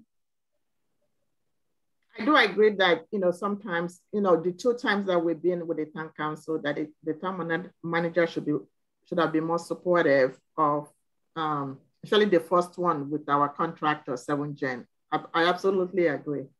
I agree with that. Yeah and maybe like the role of the finance committee too or would that be budget mm-hmm. i mean I, I knew some of them but yeah yeah, and just the fact that you know it, it seemed, especially with the with the part A, there was you know just kind of like if we really had to to you know, keep asking them and re-asking them questions um, in terms of the budget and positions and how to do certain things. Um, and because you know, as you as you all said, it's like we would communicate something, and then you would go back to meetings with the town council, and then it would it, it was said in different ways. Um, I think he got better with that as things went on, but also then he wasn't in our meetings anymore. So maybe that was what helped because before he was in our meetings and he was telling us one thing and then going back and saying something else. But uh, but then he wasn't going, showing up at the meetings anymore. So um, maybe that's the, the reason, I, I don't know. Uh, but obviously that's something too that you know you want to make sure. And then for me and that will be something you know as we do reflections on the on the town council meeting but it was what you brought up brianna in terms of seventh gen you know which we were very excited about excited about the work that they presented the fact that they were able to go into communities be sensitive and get that information even though the communities that they were talking to were you know intimidated and afraid to share but but yet they did. They were very brave to do so and how their their research and their information was basically kind of disregarded by the town council. But then it was interesting for me. I always think about it. I mean, with Leap, there wasn't as many questions, you know, and and Leap was a white-facing um, organization. There wasn't any kind of questions about their presentation and their research and what they brought up. You know what I'm saying? It was just accepted as fact. I'm assuming there'll be others, but I'm like, when we presented that, there was loads of questions right there and then loads of doubt, loads of why didn't you get more information and so on and so forth. But then with LEAP, that didn't happen. So for me, it just makes me go, hmm. Yeah, and, and Miss Pat, sorry, I will go to, but I just wanted to add a little bit on to what Deborah just said at the end there. Um, something that really bothered me is that they asked specifically for like what coding mechanisms we used for our data. Like they were that skeptical. They didn't ask anything about how LEAP came to these conclusions. Not one single question about what data, about if they did outreach, about who they talked to, nothing. Um, so that is actually very alarming. Mm-hmm. Um, and I, I, know that's not directly connected to uh, Mr. Bockelman, but I did just actually remember that when you said that, Ms. Ferreira. Um, so sorry, Miss Pat. So I was going to reflect on what, you know, Deborah said at the, at the end, when we start doing reflection at the town council meeting that we presented, was, was the fact that um, nobody asked about the amount there has not been any press, no media, nothing that was paid to LEAP. To be honest with you, I don't even know how much it was that was paid to them. But 7Gen was all over the place. They were being questioned like they were being paid millions of dollars. So there was no question, like tight lip at the town council. So I'm not talking about town manager right now. I'm, you know, let me wait until we're done with the town manager. Yeah, so I don't want people to get confused. I'm not talking about the town manager, but the town council. Are we done with the town manager though? Um, I can, if it's okay, I just want to add a couple of things and then I would be ready unless anyone else. Um, so I think that what all of you said is exactly along the lines of what I was thinking, but I would go as far to even say as the information that we did get often was misleading. Um, because I just have the instance in my head very clearly as to when we were trying to figure out if our first presentation would be to the town council or who we would even be presenting to. And he was in the meeting, and never once did we get a clear answer to something that he had the answer to. Sort of just let us sit there and grapple about it for hours. Um, and so that's something that actually really bothered me because even when the information was present, it was not given to us. Um, so that's one thing. And then also I'm just going over here and looking at the town manager goals, which Lynn also sent to us. Um, and there are a couple that I think we can point to directly. And so the second goal was community health and safety. And so it does say specifically in there for there to be, um, for there to explore the alternative options for providing services and responding to issues of homelessness, mental health, and other non-criminal calls to emergency dispatch and present the results to the council.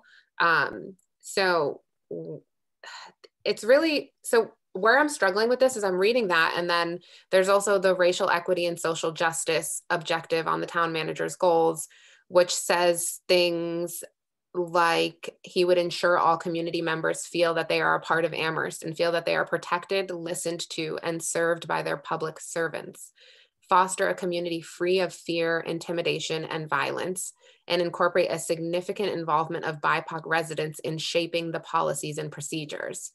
And so, while I want to say that he did a good job at those things because we did them, I think this is exactly where the checkbox solution comes in. Like we did it, we looked at it, it's great, checkbox, he accomplished all the goals. And it was not sufficient, in my opinion, because we really struggled to, to get the council and the town manager to actually listen to the community members and their experiences and to actually value that.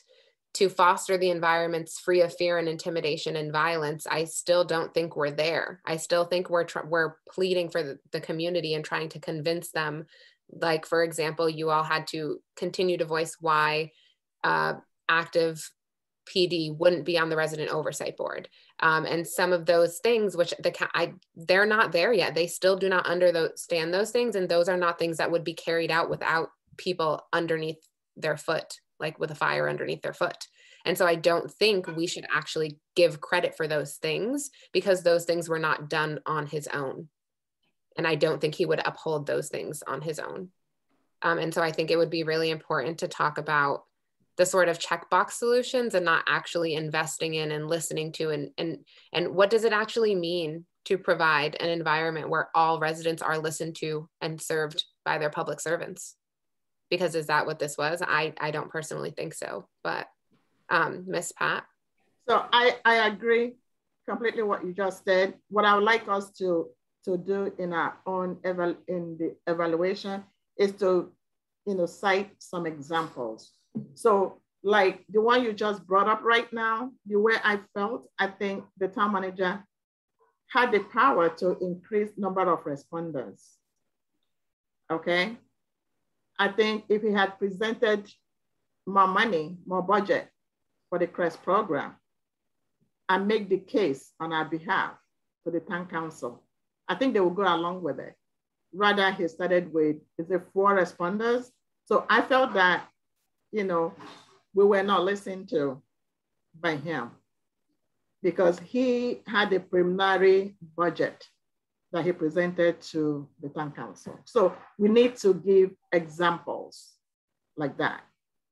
You know, in addition to, you know, explaining the positives, but, you know, the communication, for example, like, you know, um, you all have said, you know, how the budget process work. I knew because I am very tuned into um, local government and politics. Um, I know the role of this uh, finance committee. I might be the one of the few outliers in, in our group. I knew how the, you know, works, but not everybody, you know, had that knowledge. So that would be an example of communication breakdown right there. So we need to give some examples in our evaluation is the point I'm trying to make. Yes, thank you, Ms. Pat. And I think that also for, because one of the other objectives is community engagement, and it states specifically encouraging and supporting new ideas and methods for expanding resident involvement in town government and awareness. And then that would be a perfect place to use the examples of the pushback that we got for stipends. That's right. Um, because that is a new creative way to That's engage right. and increase public input. And all of these things that are objectives on his goals, we provided solutions to and we were met with resistance. So I think that those are important things to point out. Um, Ms. Moyston.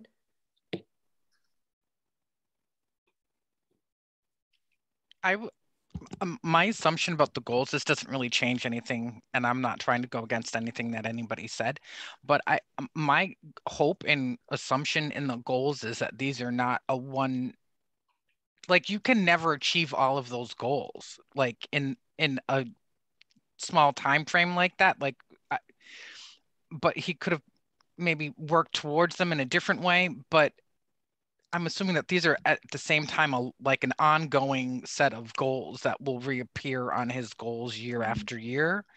Um, just because the the you know when you think about inclusionary work, it always changes because there's you know and so i'm just assuming that those goals and it doesn't change anything again but i'm just saying that I, I, believe that those goals go on I would hope continuously.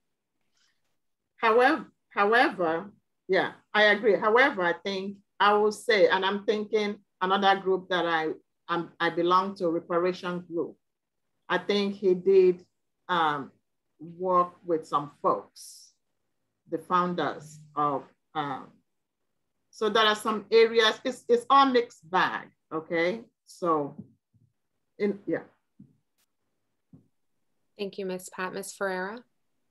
Yeah, but I mean, we can only go by this, and I, and, and as a group, since we're we're evaluating based on interactions that we have with him here. You know what I'm saying through the process with CSWG, and even though those are goals that that you know he need he needed to meet, all we can go as, as um, Jennifer. Even though I know that it's going to be that he's going to continue to work on those goals, but for us, I mean, we don't have the luxury in terms of safety, right? And safety for, for members. And when and we said time and time again, and we showed um, proof through Seventh Gen uh, uh, report and everything that this is something that is something that needed to happen not today but yesterday and and and you know you know 60 years ago not not not today. You know what i'm saying? So it's not anything that we can bargain with people's safety and inclusivity and social justice and stuff like that. So i'm sorry you know it, this is good. We need to include these these these examples these specifics mm-hmm. in terms of, of what it is because we don't have the luxury of time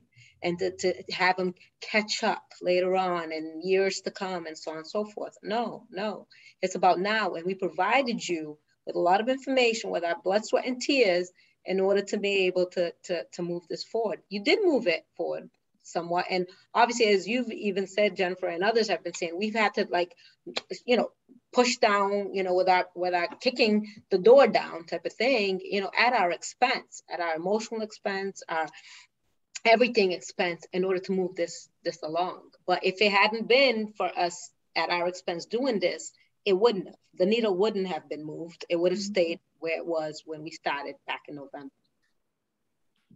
Thank you. Yeah, and I'm not I'm not saying that you shouldn't use the examples or that uh, any of you guys are wrong or right. I'm just saying that the goals in ge- in general are not like uh, are uh, some of them you know of course the health and safety of people should come first but some of them are are just still would have to happen year after year because it's even harder just to engage in the community right like to get the community to come in and trust like that's hard. It's not as simple as just saying hey let's have a zoom meeting or hey let's go out to this complex and see who we can talk to. It's much more it's much harder than that because of the trust issue for many many reasons that there's this trust issue.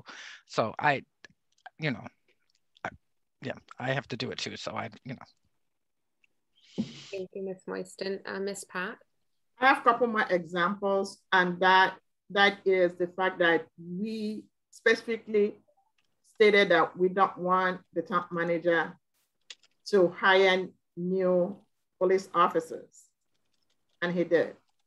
There was money, you know, set aside for that.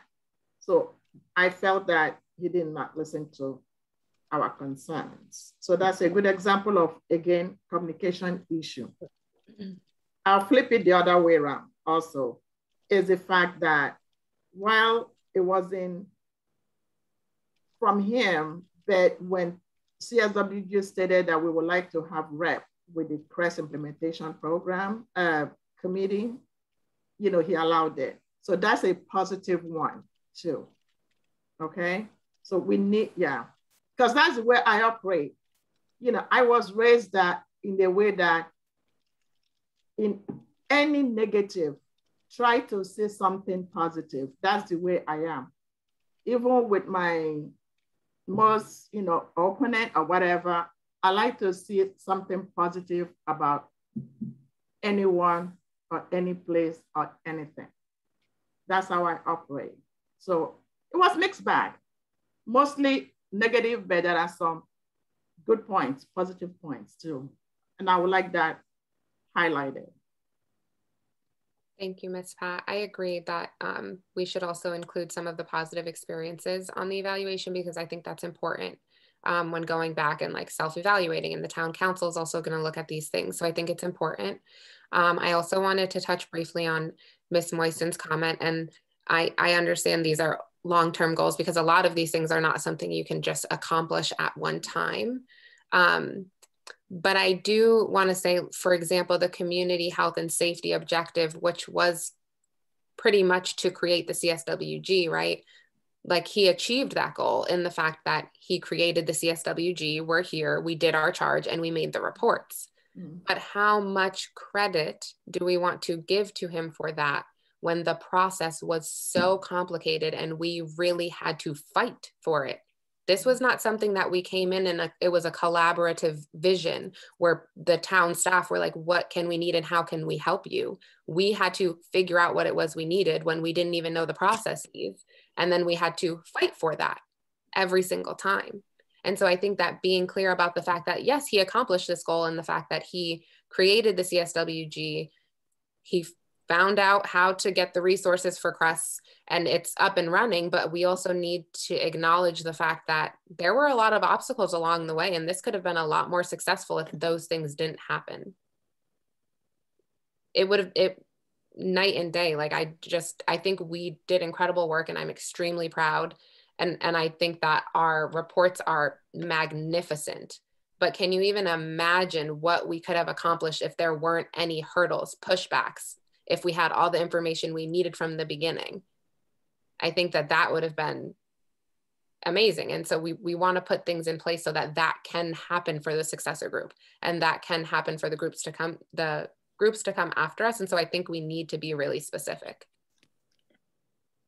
And I don't, and, and I don't know if you all have already touched upon this because I had to, you know, step away for briefly and then I came back. And yeah, when, when you were talking, Ellisha made me think about you know, just in terms of getting consultants for the part B. I mean, oh my God, that was so much pushback. That was so much back and forth, so much kind of, you know, on, on his part in terms of resistance to give us those. And he kept on asking us the same questions over and over again. And then by the time we got the consultants, here we go.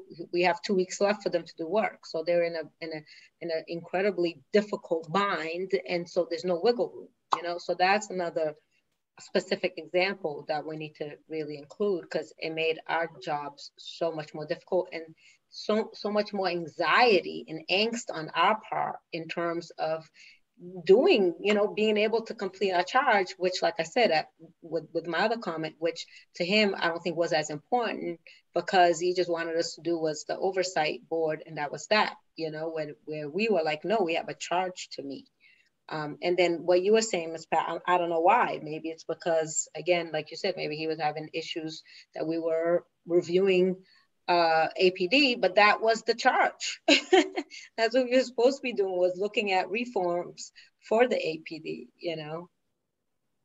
Didn't make sense. Thank you, Ms. Ferreira. Ms. Pat? So, um, and I'm trying to find the right word. Another thing that I noticed with the town manager was um, sometimes the response time to what I consider, and I can speak for all of you, very critical. For example, when he did the preliminary budget that he presented to the town council, there was no mention at all about uh, youth center and the BIPOC cultural center because these are some of the issues I was pushing very hard with. It was much, much later that I found out that project like that had to come under capital project. It's something that has to be planned. So I did not know that ahead of time. So I got infuriated, very frustrated, like he didn't even mention anything about that. So when I found out later through him in one of our meetings, then it made sense, but it took so long to get that information out. Like, how can we do better when we need information to help us so that we don't get too frustrated? Okay. And um, so that's one thing. And then another thing I found out after the fact was the fact that the time manager's thinking was when he hires the DI director, might be the person that will collaborate with whatever group, you know, to plan the, you know, cultural center or something like that. But not mentioning at all in the budget really troubled me a lot. Because to me, those two projects are safety issues because we need a space that belongs to us where we feel safe to gather because there is none for us in this town. There is practically none. Thank you, Ms. Pat. Ms. Owen? I guess for me, one thing that I kind of noticed, and I didn't notice it until the second part of our charge, is that he created our group with with an agenda of his own. And that's why I think he was being so limiting with the time that we had. When Ellisha and I went to go make the PowerPoint for the second part of our presentation, and we Googled CSWG and we're reading articles from before our group was even formed, the town manager and town councilors are saying, wow, this is going to be such a huge task. This is going to take so much time. Like, great. So when we're formed, why wouldn't you give us the time? And I felt like in the second part of our chart, she was like, no, like you only have time for a resident oversight board. And for the record, we only paid LEAP $6,000, which is insane for the amount of work that they've done. Um, and they would have been able to complete. How, how much was it? 6,000. dollars And they would have been able to complete all of the work if they had the time. Um, that was one of the things, the conversations that um, Ellisha, myself, and others were having with LEAP. They said if they had more time, they could have done it all. They had the skill set to give to give us the information. The biggest thing was the time. So that was something frustrating for me. If you're going to commit to diversity equity and inclusion inclusion initiatives like you can't tell like you can't tell the community what they need we're telling you what is needed you need to give us the time and the resources to look into it and to provide i don't like i don't I don't know. I just felt like he put our group together with the intention to pump out certain things. And that's why he wasn't supportive. And that's why he wasn't transparent about the consultant process and whatnot. And why he wasn't on board with extending our group. I do think it's great that um, Ellisha, myself, and Russ can be on the implementation team, but it's crazy to think that CRESS was going to be implemented without us, with the PD. That's crazy. That's crazy that we had to advocate for that. like the conversations that we're having, it's crazy. I couldn't imagine. Yeah. Like, yeah. So, um, one thing as you were talking, I agree with everything you just said, is that we're kind of like a a lab test. Nothing like this before for the town. And so for both parties, it's all learning process for us. you did not imagine that our group will be, will really ignite, you know, public interest that we're going to push back, that, you know, we're really going to go for what we're asking for. I think what also disturbs me is the relationship between the town council and the town manager. It looks like, you know, I mean, as this, you know, paid staff employee who runs day-to-day affairs of the town, he should not always be catering towards the town council. And I get that they're his boss, but um, I would like him to stand more firm in certain ways because he has the inner workings, okay, of the town government, meaning day to day, you know, uh, running the town for us. And to me, for the town councilor, they are wonderful people, nothing personal about them, but some of them come with political agenda. You know, they want to run again. And so some of what we're discussing may not be of interest to them. So how does he create that balance is what I'm trying to get at. Like somebody who, who made a comment about supermajority of, of a, a committee, for example, or somebody who think who stated that they're, they're concerned that APD will no longer exist. Where is that coming from? So I think he should have been more supportive of CSWG with, you know, explaining to the town council more. But I don't see him saying much at town council meeting when we presented. So that was a, a source of um, frustration for me too, yeah. To me, it, it seems to me like the deal's already made behind the scene and then we just come in and it's rubber stamp. It's how I'm feeling because it's very little I've learned over the years, the little that people talk, the more that you know that the deal has already, already been done behind the scene. That I know. Thank you, Ms. Pat.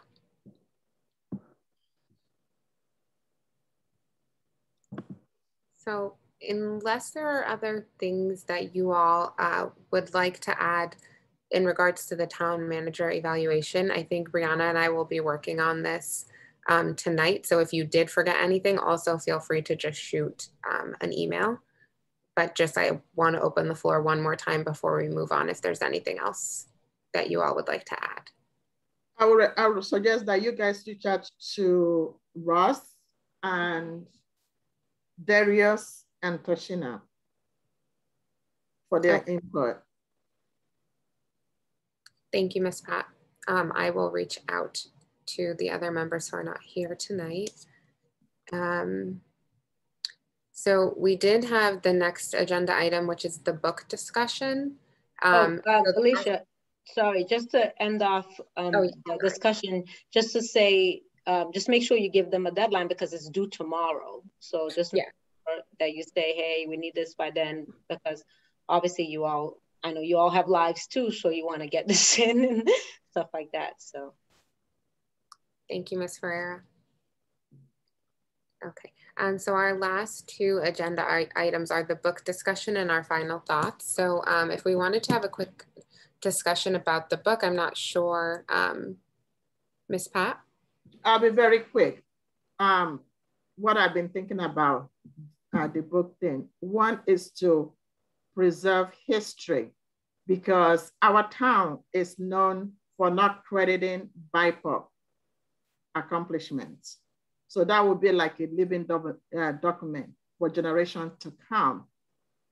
So the book will be donated to the town to the, through the three libraries.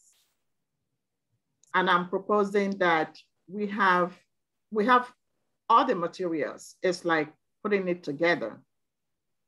And I'm envisioning the book to include all the minutes, all the presentation, you know, all the documents that we have, profile of each of us, what led us to join the group, all we've done in terms of social justice, what, what we're about, so that, you know, with our photos, so when, you know, many generations to come, will see that.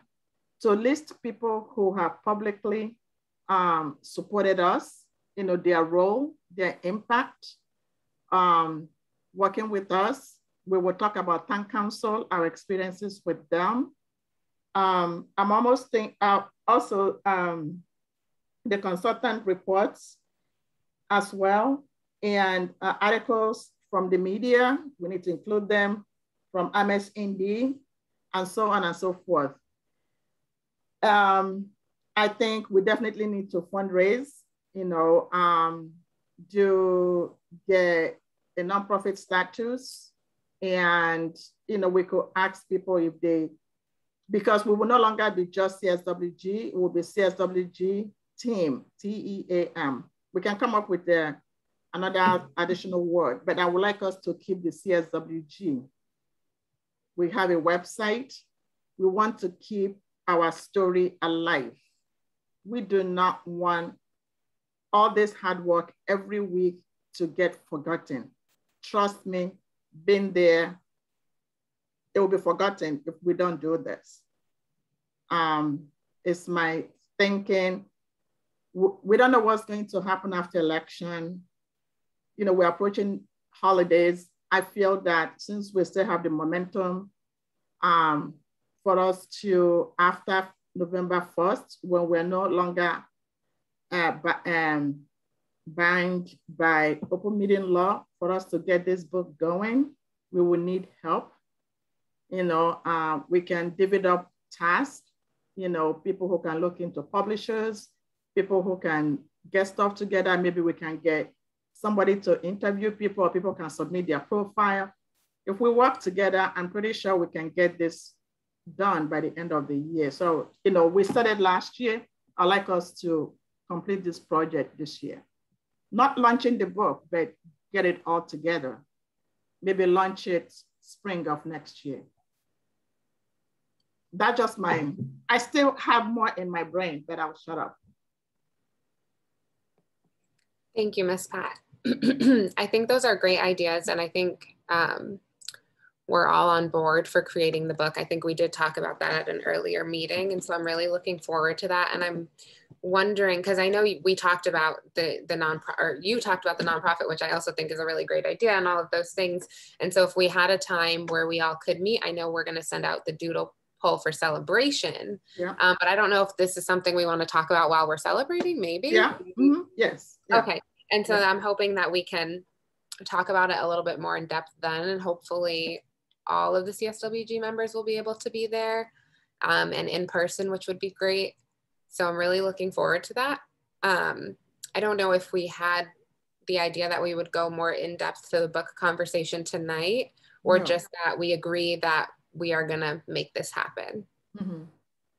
Mm-hmm. Ms. Ferreira? Yeah, I don't think we need to go more in depth to it. But like you said, I think when we meet next, um, in terms of celebrating, is to kind of put together maybe like, hey, we meet once a month or something like that, because I think we're going to need to still have like some type of meeting or something, or Mhm. just a, an email check-in or whatever, Yeah. you know what I'm saying? So that we can just keep the, the work moving. But the other question though, because when you were talking, Ms. Patton, you were saying about us obviously including all the kind of information relevant to this year of what we did in the work. Yeah. So I, I want, I have a question to you, Jennifer, in, in terms of that. So all that information, so how long is the website, CSWG website gonna stay up? Because I know we had said we wanted it up so that the, the next committee could also have that information. But also we wanna know that because we wanna obviously be able to get a lot of like the minutes, the this, the that, the, the other, to make sure we have all that information um, before it goes somewhere. So full transparency, the minutes are a little bit behind, but the co-chairs, we voted last meeting for them to uh, vote to approve those. Yeah. So that they will get done. And most of them are in draft form. The problem is so much is said at one time and I can only type so fast. And then I end up speaking and being engaged. And then I, and I have to just go back to reflect to make sure that I've gotten um, everything, because some of the minutes are like eight to 10 pages long Yeah. it's always hard to figure out what not to include and what to include in the meeting minutes here. Um, because some really powerful and needed stuff is being said that needs to be actually documented somewhere. Um, so that can happen. Now, regardless, so I think that the CSWG page should stay the way that it is. Typically, when a group is disbanded, it goes to the archives. You still have access to it. It's just listed under the archives, and so I can show you better than I can probably tell you. So Mm. let me pull it up and I can show you. so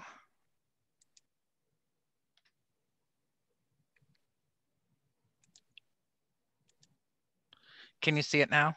No, No. Oh, right, because I got to hit share. Can you see it now? yes, So now this is an active page right off of amherstma.gov Community Safety Working Group. What ends up happening typically, and it we can you can also be found if we go. Oh, we want to just can we go back? So if you go to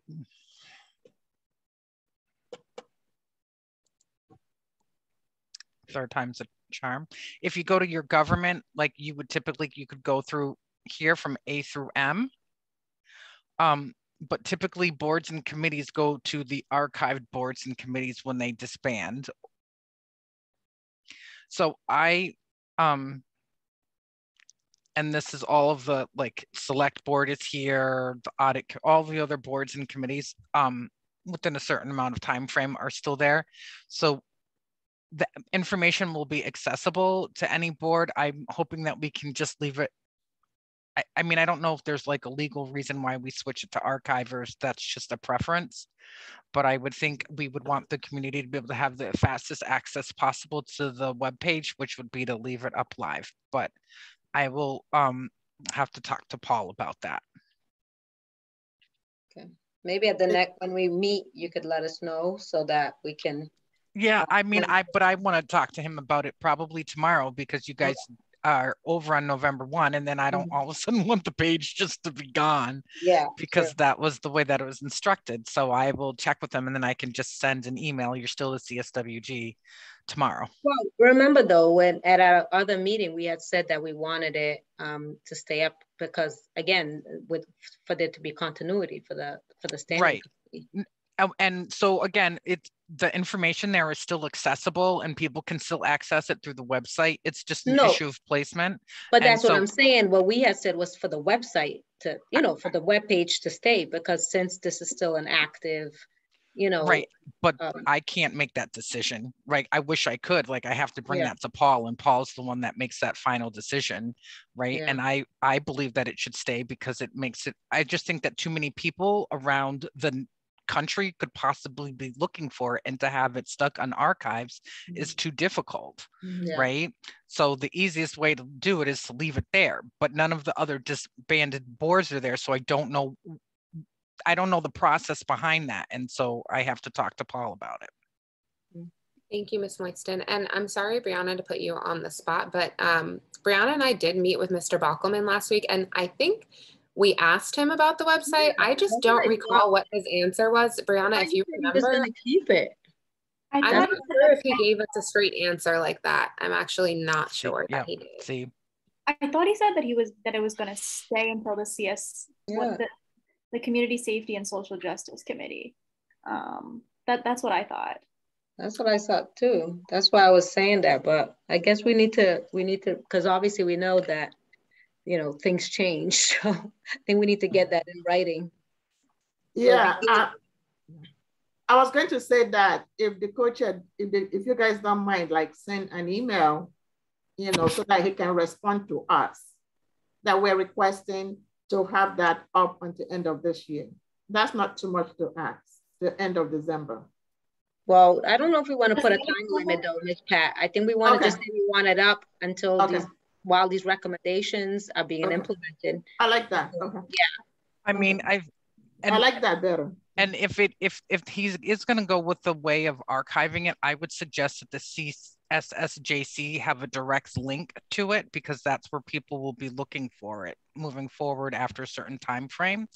So it, you can access it from the CSSJC page. Either way, where it stays. So people have, I mean, my whole thing is about people having the fastest access to it. I hate when I go on a website and can't find what I'm looking for, right? So to have the quickest access to it is what counts because this is something that other towns and communities are going to be looking for to mm-hmm. see what our process was and what we did. And so I mm-hmm. think that the page needs to be accessible in multiple ways and hopefully not right away archived. And if it is, once CSSJC is um, formed, then we need to put it on the CS, have a link from the CSSJC page that brings you right to the archive page of the CSWG.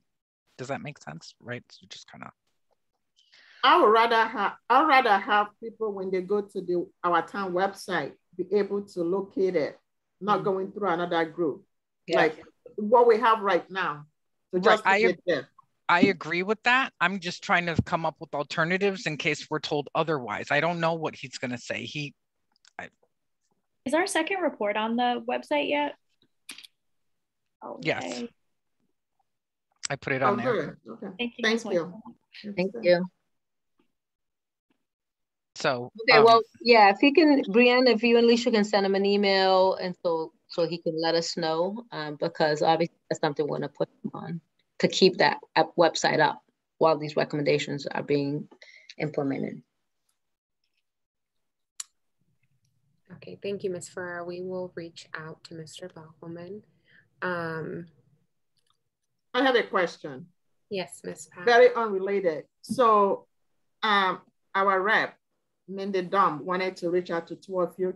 Do you guys mind sharing why they want to contact you? She didn't reach back out when I responded, so I don't know. Oh, okay.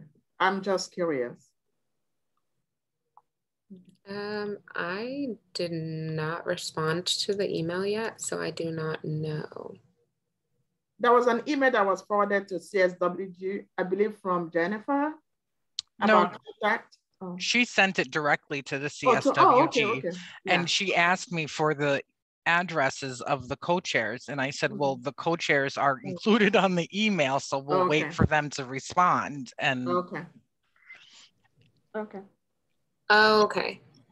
So I'm that just- email I'm- came oh. directly from her, not from you, Miss Moyston. I was also thought it came from you. did it i thought it I it don't went know. I'm it, trying- i thought she sent it directly to you guys i mean to the cswg Yeah, I thought she sent it to CSWG too. Okay.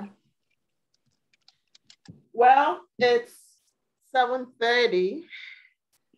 oh yeah she did. That's how i got it. I'm she might have been under the impression that usually it's just the emails directly just to the staff liaison typically so she might have been under the impression of that.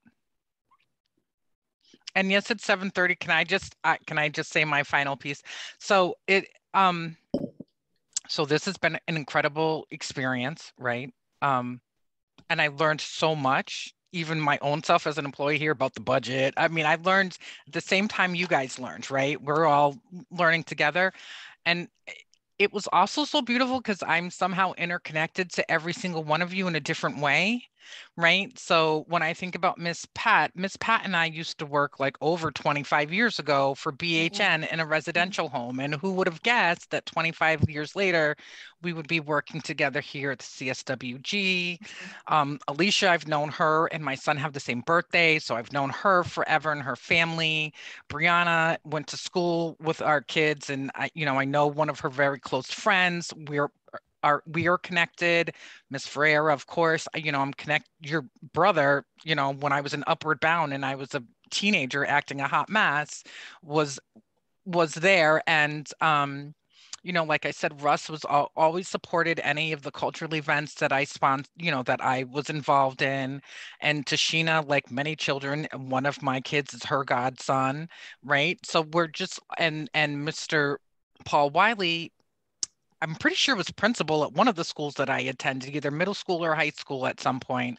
And so we've all just been, and Darius I've known, and it's been great to watch him grow. And I have to honestly say, Brianna, when you first, the very first meeting that you came on as the co-chair, and you were just so nervous, and you were like, I just, I can't even, and you, and you were co-chair with Mr. Wiley, and just to see you to your confidence build and your comfort level and ellisha you you running like i'm just so proud of every single one of you and i again i know that you guys have been frustrated and that things didn't go 100% the way that you wanted them to but i stand tall when i say when it comes to a board and committee you guys have made more movement than any board or committee and you really need to to be proud of that and I know that it's frustrating, but you guys have also, I think, kicked down the doors a little bit for people to come in to be more involved because they're seeing that the voices are being heard to some degree, right? So all of that is is just so important and i'm so honored to have been a part of that and to spend every thursday night with you guys and sometimes wednesday nights for like the last year um you know, I'll just fill my Thursday nights with the reparation committee now. So I, I'll still feel loved. And I just hope that we stay, you know, connected in some manner. And so it's just been a true pleasure. And I so appreciate everyone. Thank you, Ms. Moyston. Ms. Ferreira? Yeah, I wanted to do my final final thoughts officially, even though I'm, I'm sure we're going to still continue this um, you know, continue working together and continue shaking things up. Um, you know, the same thing. It was an honor and privilege to work with you all. Um, you know, I got to know a lot of you, you know, through this process. I've heard about a lot of you. Obviously, Miss Pat, you know, I've always heard about you, my brother and my sister-in-law, and a lot of people would always talk about you and what a powerhouse you are in the community. And so it was a pleasure to to to get to to work with you together and to, you know, to to be pushed you know by you to think differently to learn to you know it's it's been you know great. And then Tashina and I we were pregnant together. We have kids the same age and so on and so forth. So I've known her for a long time but it was great to work with her um, and then you know Ellisha oh my goodness you know I just remember just you know you again yeah at first kind of you know being just observing and things like that. And then all of a sudden you know you start just just going in and just sharing and and being you know your strong self.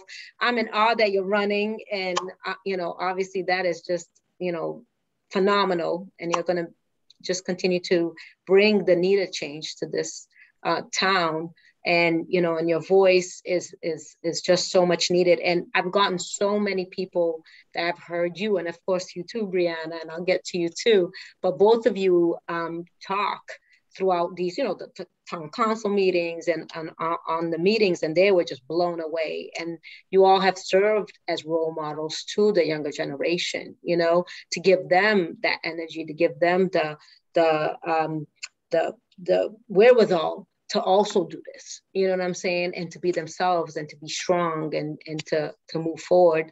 So it's just i've gotten you know a ton of people saying that about you know the two of you. So just take that under your hat. Keep being you and keep being strong. Um and then and and and that you're a mom too ellisha. So i mean you know you you're you're doing it. But just remember for self-care though Remember self-care and taking care of yourself because you got to put that oxygen mask on yourself first and then you can help everybody else, you know? So make sure you do that. And then Brianna, the same thing. You know, obviously I've heard a lot about you and you know, and I've learned so much from you too. Again, your strength. I remember at the first town council meeting, you just, you know, telling the town council members, you know, how dare you put us sitting, you know, on the outside of the meeting while you're talking about our recommendations, you know, and just being strong and always being a leader and, and you and Ellisha just working so well together. Um, it, it was just, you know, phenomenal. And thank you so much and continue uh, doing your thing. Um, and then, you know, Paul Wiley, obviously I knew Paul outside of, of, of um, CSWG and I appreciated just his, his kind of starting us off, like I said, and his patience and kind of taking us through things. Um, and obviously it was you, you know, Brianna and, and Paul, which I thought was, you know, great mix. Uh, and set it up really nicely for Ellisha um, to then take over when Paul had to leave and and I do. I call you all the dynamic duo, the ones that you know are making it happen in, in this town. Uh, of course, Darius. I think that it, it, was great to have him when he could be on, and I know that this is going to serve him, you know, moving forward. And that's what we're doing, right? We're building leaders, um, not even for tomorrow, but for today. So I I know Darius is is going to continue to do big things, and and this is going to be a, a great platform for, from him to jump from. Uh, and then Miss Moyston, obviously, oh my goodness, we wouldn't have been able to do anything, you know, without you if you hadn't, you know, been there. And and I know it's it's it's at, at you know a lot of risk, you know, to you, uh, to to to been able to be so upfront and to share. Um, and it's just been great to get to know you. Um, and Miss Pat, I'll say more about you. Um, obviously, you know, it, it, you know, your your you know, in my culture, as you know, my, eh, your culture too, being from Africa and being from you know my country, you know, you are one of the elders that we give respect to because there's some Thank elders, you. yeah, because there's some elders though out there, some you know that I don't know if they deserve our respect, but you deserve our respect because you are a warrior.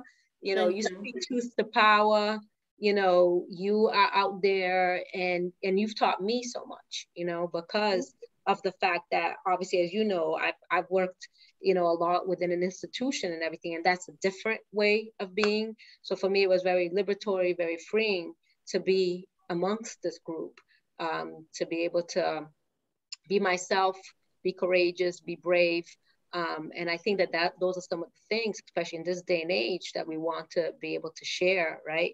Because as a Black person, as a person of color, that's not always a safe thing to, to do or a safe thing to be. Um, so for me, you know, it, it's been a growth opportunity for myself too. And I've benefited, even though it's been a sacrifice in terms of obviously uh, being with my kids when I'm here. But for me, I thought it was all worth it um, for what we accomplished, but for uh, my own personal growth. So thank you all. So, go ahead, Miss Pat. Okay, so in addition to what you know, you guys have said, I agree. I think to me, a couple things that jump up to me on the very first night when we met. I made a decision you know, carrying my culture as one of the oldest in the group, um, that I'm going to, you know, step back and let the younger people um, lead. And I remember that night, somebody nominated me to be the co-chair. I didn't want it. I believe it was you, Deborah. And I said no. And then Brianna was gracious to say, I'm interested in being the co-chair. I said to myself, yes, that's what I want. And to me, it's an honor to be with this group where I serve the role of advisor behind the scene because this work can be very hard. And um, we might come to meetings and it feels very easy. Sometimes it's not. So I, you know, very grateful that I was able to play that role. And I remember when we went through the transition, I called Mr. Ross. I said, we need to have two coaches. It was my suggestion. And he goes, yeah. So it happened. And, you know, Brianna and Ellisha, you did not disappoint. It's what I wanted in my culture. When younger people accomplish stuff, I'm sure it's the same thing with, you know, Deborah and Kevin. It's like when younger people accomplish stuff, it's a glory to the older people. And that's, that's the statement I'm trying to make in this town. Elder doesn't mean that you wouldn't allow younger people, you know, to be in leadership role. Because when younger people are in leadership role and they're doing well, the glory also, not only that it goes to the younger people, it's the same thing with parents. Your children are doing well, or and children doesn't mean like biological child, okay? If they're doing well, it reflects good on the on the elders. I've had some of my friends says, are you comfortable being called elder? I said, absolutely, because you know, I've always aspired to become an elder. I know America is a youth society, and I want to redefine that because being older is beautiful. Being older comes with wisdom. Being older comes with respect. That is, if you do you if you do it well. So I've really enjoyed that status in this group, and you know, um, and I don't take it for granted at all. I've already said what I wanted to say. I'm just grateful, you know, to have been come closer to you all. You all like my extended family, like children. When I say children in African terms, it's not about age at all. We don't go by age. There are people who are like three or four years older than me who are Nigerian women. And I, I call them by title it's a, it's a sign of respect. We don't do, you know, Miss, Mrs. or Auntie because of age. It's the status they play in the society. And I've been trying to model that for a long, long time. Like when people call me by first name, it's not that I don't want to be called by first name, but if America is a melting point, you need to learn about other people's culture you ask people what you want them to be called.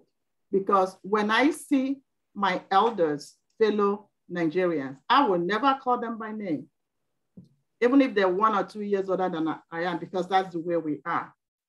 We go, sir, Mr., Mrs., yes, ma'am, auntie. And I don't want, you know, I don't want that. Um, I want to celebrate that it's, it's a pride thing. It's a good thing. It's not something to be, you know, be ashamed of or something like that. Another thing I've liked in this, in, in our meeting is we're very informal. I like how we laugh. I like how sometimes we're off meeting. Why should we follow white um, standard of meetings? You know, to follow meetings, Robert uh, rules, Robert rules or something like that. You know, that's what I look forward to every Thursday, because I'm going to be joined by, you know, relaxed people that, you know, our meetings will be very informal. You know, Tashina can go forever, I can go forever, and so on and so forth. I think it's the beauty of this group that makes me, people say, wow, you guys spend so much time, but I look forward to come to this meeting because it feels like I'm talking to extended family members. That's how you that's how I see you guys, all of you. And um, the last thing um, that I really appreciate about this group is our honesty, risk, you know, risk, huge risks. You know, we put ourselves out there, okay? And um, and I felt that we're a team. I didn't see anybody sabotaging anybody. And trust me, I've been in so many groups, including special education SEPAC group, where you have some people, you know, going back to the administration saying, da, da, da. I did not see that in this group. And that's what made us very strong.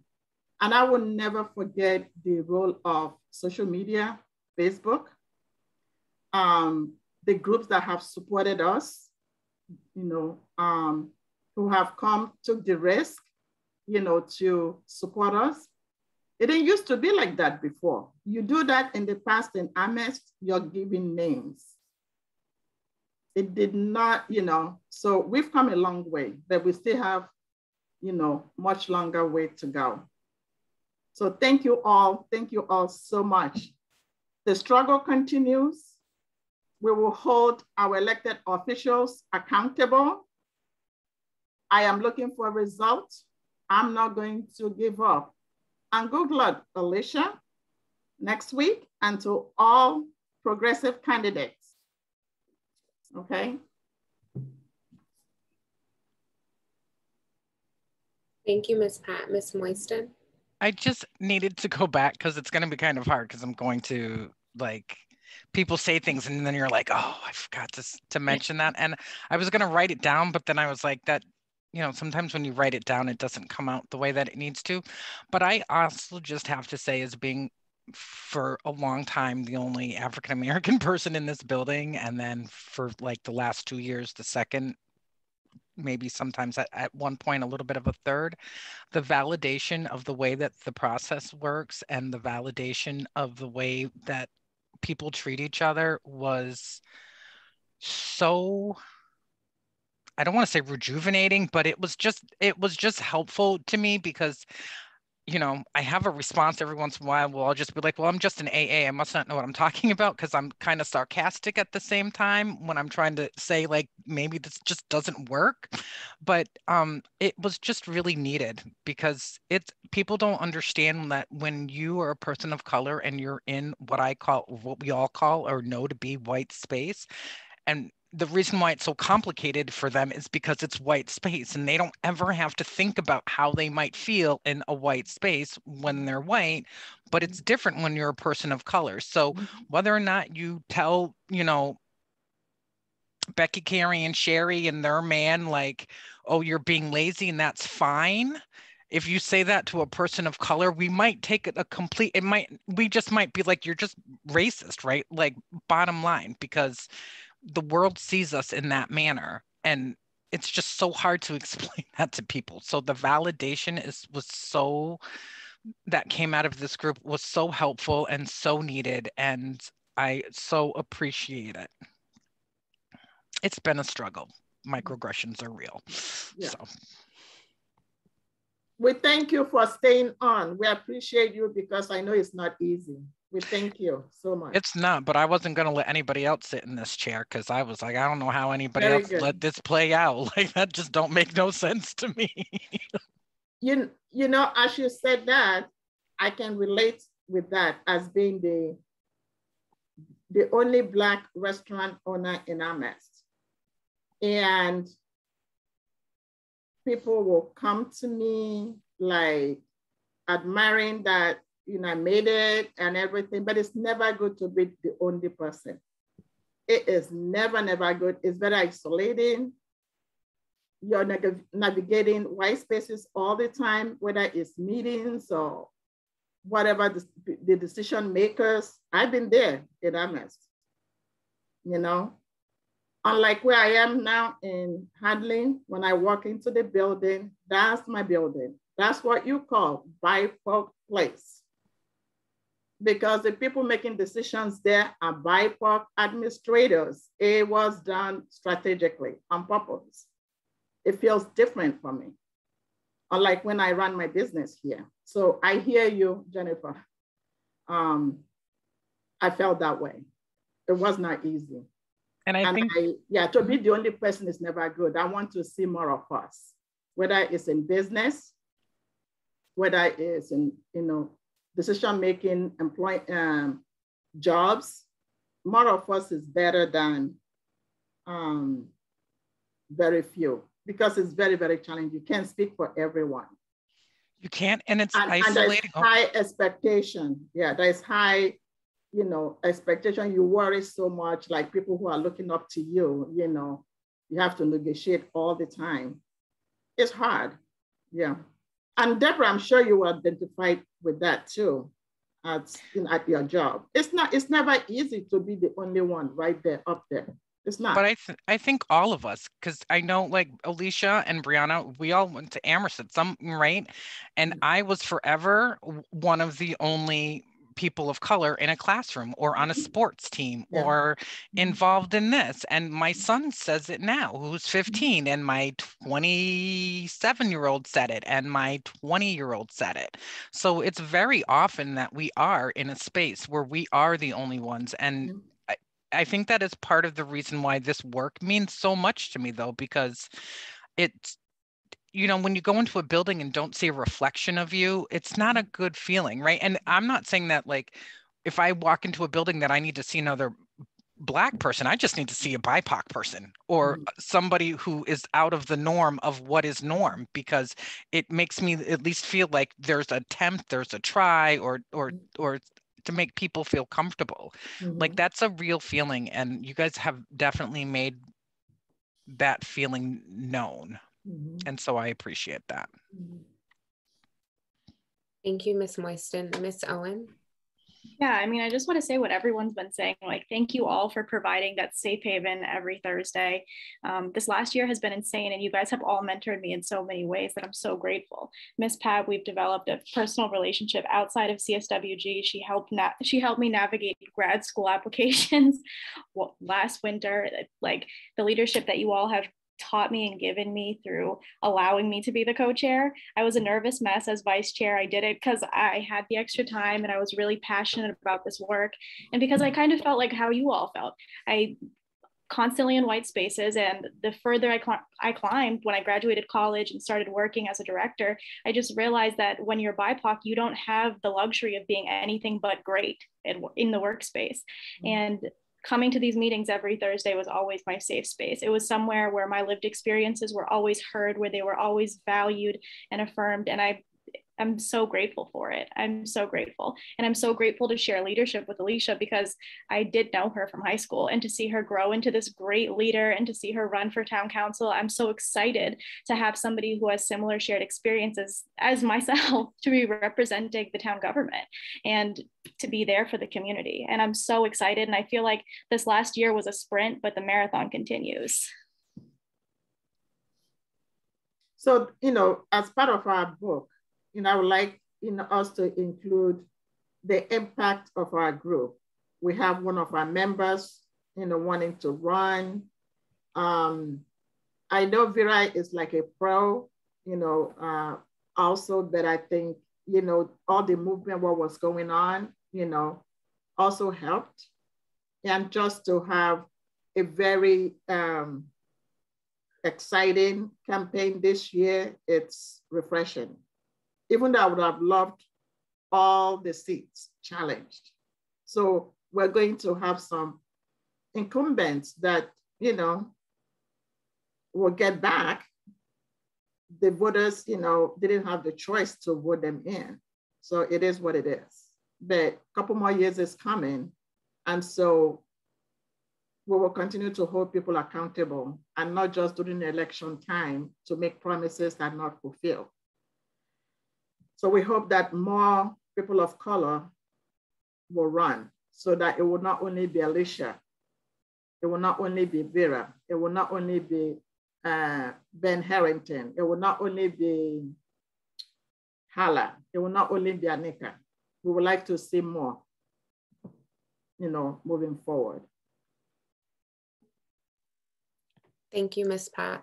And I also just wanted to add, I know you all have touched on a lot of the things that I would have wanted to touch on, but just to share that this has been such an incredible year and just thinking back at the progression of this entire group and coming into this honestly nervous and afraid because I didn't know what to expect and we're talking about like a very charged topic at a very at a time where it was very heightened in society.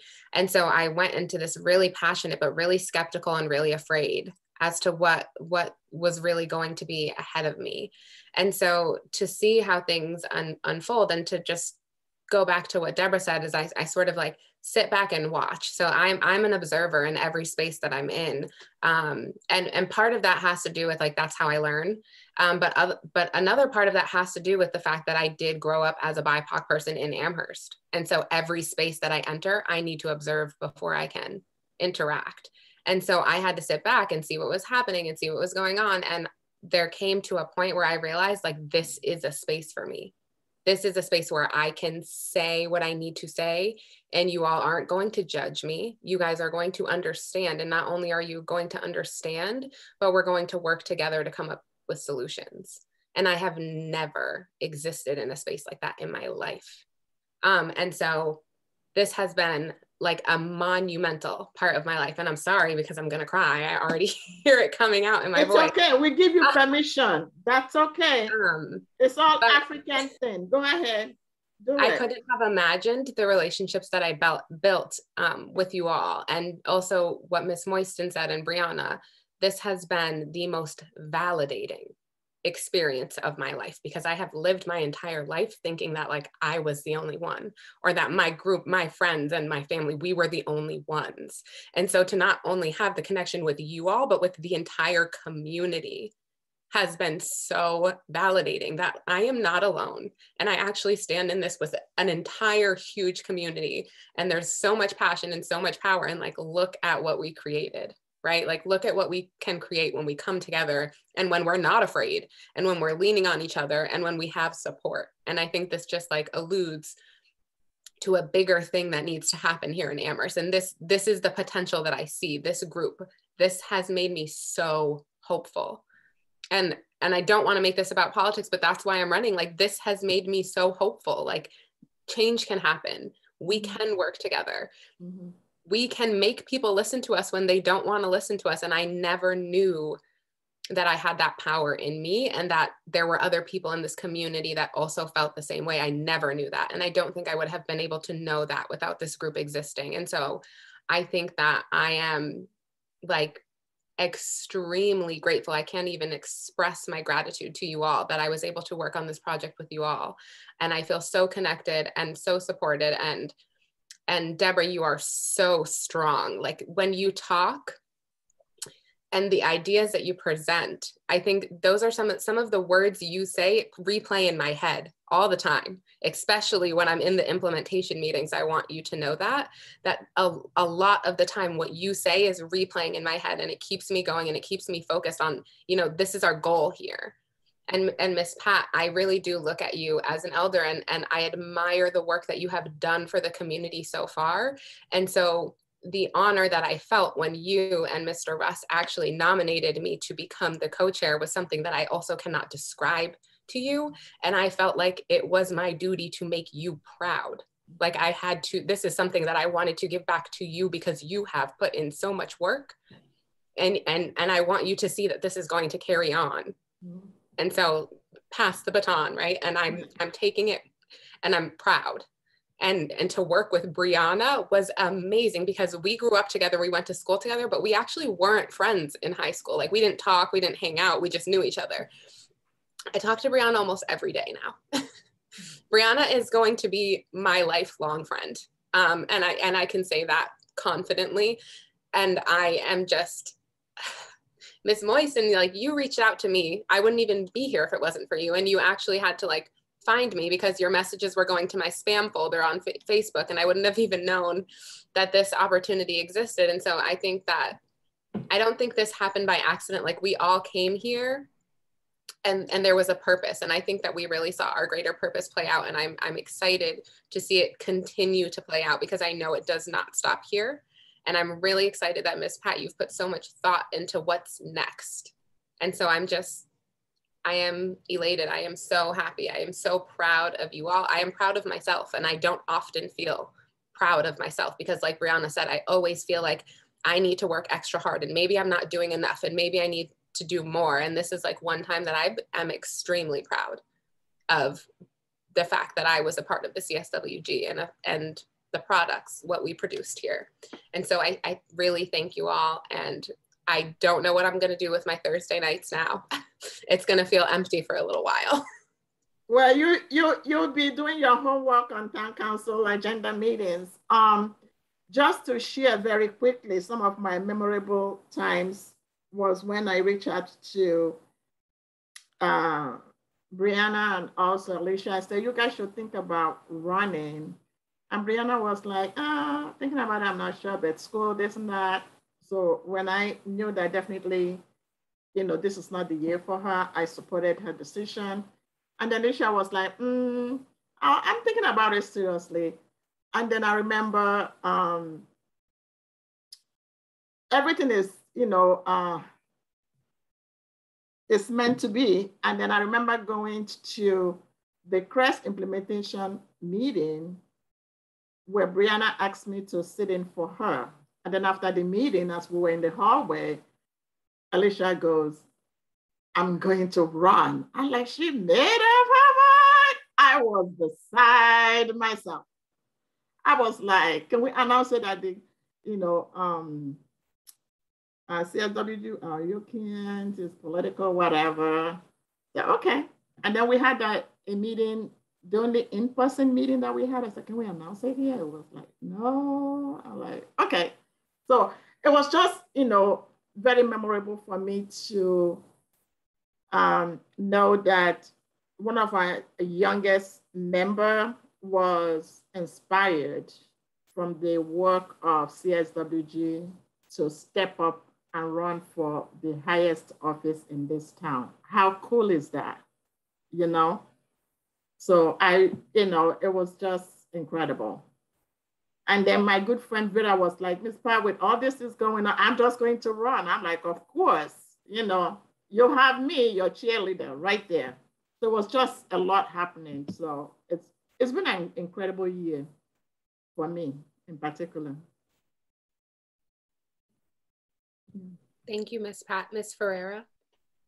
I'm just gonna shut off my video because I think I'm having issues again with the internet. Okay. So. But um, but just wanted to say just one last quick thing about Tashina. I mean, she was just awesome too throughout the whole process. Uh, I know I didn't talk about her as much just in terms of how I knew her before this, but it was a, a pleasure to work with her on it. And all her points, you know, were just just so brave, so courageous. I remember the first time that she brought up the whole thing when the town council had uh, kind of tried to come in on one of our meetings and talk about, you know, how we hadn't started our meeting on time. Or it was one of the, the when we were talking to the public, actually, when we had our first public Zoom meeting and everything, and how we had started it a little bit later and, you know, and was questioning the public uh, meeting law whatever. And then Tashina was just like, that was really disrespectful and, and, and her kind of trying to bring us to task on that. And so for me, that was like a light bulb too. And it really made me think, yes, we need to be honest. We need to be ourselves. We can be ourselves. And this is just too important not to be. So um, I think, you know, for myself, and I think, you know, for you know so so many of us here uh, right now it was just a moment of just growth and and really being courageous so Thank you all. Thank you, Ms. Ferreira. Okay, and so are there any, um, oh, Ms. Moyston. You know what? I, I'm trying to make my hand brown. I was trying to do that the other day. I just, saw, just saw Debs so and, to, and, and Brianna's, and I was like, settings. You have to go to settings, right? Like on the on your computer before you like. Oh, okay. Yeah. I, I okay. All right. I wasn't really had anything. I'm sorry. And I was fully listening to everything everybody said, but I'm so in awe of people who have the brown hand. And I'm like, I want a brown hand. And I and I'm sitting in different meetings trying to figure out how to do it. And I can't, and I'm like, I don't know how they did it but thank you. I also just sent everybody an email. So if you guys remember, and Ellisha was talking about this earlier, that we had applied for a, a grant through the Harvard Kennedy School of Government Performance Lab. And so we didn't receive the grant, but we were eligible to be a part of their open forum communications and boards with other communities. And so I just forwarded an email for an event that they're having in regards to the ARPA funds and behavioral health crisis. So if you're available or if anyone can, please, um, you know, register to do so. Thank you, Ms. Moyston. I'm so sad. I don't even. I know. I was going to say, well, the next we don't have the next meeting. Not sad. I, I'm not sad because we're going to continue not on town committee capacity because I feel that we're still going to continue to be connected through our book, our activism, holding our officials accountable. I am not, you know, letting it go. And some of us hopefully will join the Successor uh, group as well. So we'll be find ways, yeah. That would be nice to be able to be free in a like a setting with us exactly. all. Then we that's can, not yeah. being recorded Okay, where I'm like, oh, That's right. That's right. Yeah. nice. Okay, yep. And so are there any other topics not anticipated within 24 hours of this meeting? No, and we don't. 48 hours. Oh, sorry, 48. I had 24 on this. So I'm sorry. Um, and we don't have a next meeting date, but we'll have a doodle poll for when we can get together to celebrate. And so with all of our business complete, I am calling this meeting adjourned at 8.03 p.m. For final, final time. Um, and so for the the get together, is this like open to the community or is this just us? Open to the community if they want to join us. I just because I can, you know, we can spread the word. So What do people think? Just us? And part of me wants it to be just us, just so I could like, you know, talk to you all and not have to be, you know, open meeting law and get to, you know, talk some other stuff. Okay. yeah. okay. And then we So can can have we- another one, can- you know, we can have another one where we invite everybody. But I think it would be nice to just talk to each other. Oh, I'm so sad we're done. Huh? I said I'm so sad we're done. I'm gonna miss you guys so much. Oh, stay positive, kids. I hope you don't mind me calling you kids. That's African way. Don't feel sad. Don't make me cry. We'll be we'll be all right. We'll be all right. We'll be all right. Stay tough. Stay Who would have thought we'd be looking for those meetings that are four and a half hours long on Thursday night? Like, right? Like, I'm be like, mm, there's a lot of room going on in my day. It's been Yeah. fun. It's been It fun. has. It's been good. And But we just we- all grew together. We all Yeah. grew together, Mhm. right? Yeah. Yeah. That's amazing. yeah, thinking about it, I think we should just meet ourselves and celebrate so that we can talk about the book and how, how we want it. Yeah. You guys are right. Yeah. I'm just saying, like, I don't even want to hit end. So you guys will have to like clock out on your own because I just can't. I just can't do it. I can't. You know, typically I schedule the next meeting after this, and I'm like, "Ah, I'm not going to schedule another meeting. There's no more meeting. Well, see some of you at the town council meeting on the 8th. I am going. oh, I will reach out to some people to mobilize for public comment too. I think that's something we can do. Yeah, I can reach out to the fund fort. Uh, the fund, yeah, I can reach out to their rep, one of their rep to see if, yeah. And and hopefully Miss Pat has uh, applied for the the new group because I have. So I, I told you I did. You yeah. Said, I did. Didn't All you right. get my email back? I did. Yeah. Oh, Okay, okay, okay, good. So we Did we I have to get text you or emailed you back? I think it was. I email. I might have missed it. I might have missed it though. So I all think right. you responded back. Yeah. So okay. we'll see. Yeah. All right. So we have to get more people though, more BIPOC to uh, apply to that too. So Jen, like how many, you don't have to mention names, like how many people applied? Seven? I think we have between uh, seven and 10. I'm not 100% sure, but what I'll say is, you know, we need more. It would be nice to have a better, I don't want to say better choice, but it's always nice to have a good pool of applicants and candidates for anything that you're doing, right? Okay. And so, you know, Okay. everybody brings a different perspective. And so that's mm-hmm. important. Okay. Okie dokie. Yay, bye. Yeah, you got to hit that buy button. You got to hit that leave button. There goes one. Have a good night, you all. The marathon continues. Yeah. The struggle continues.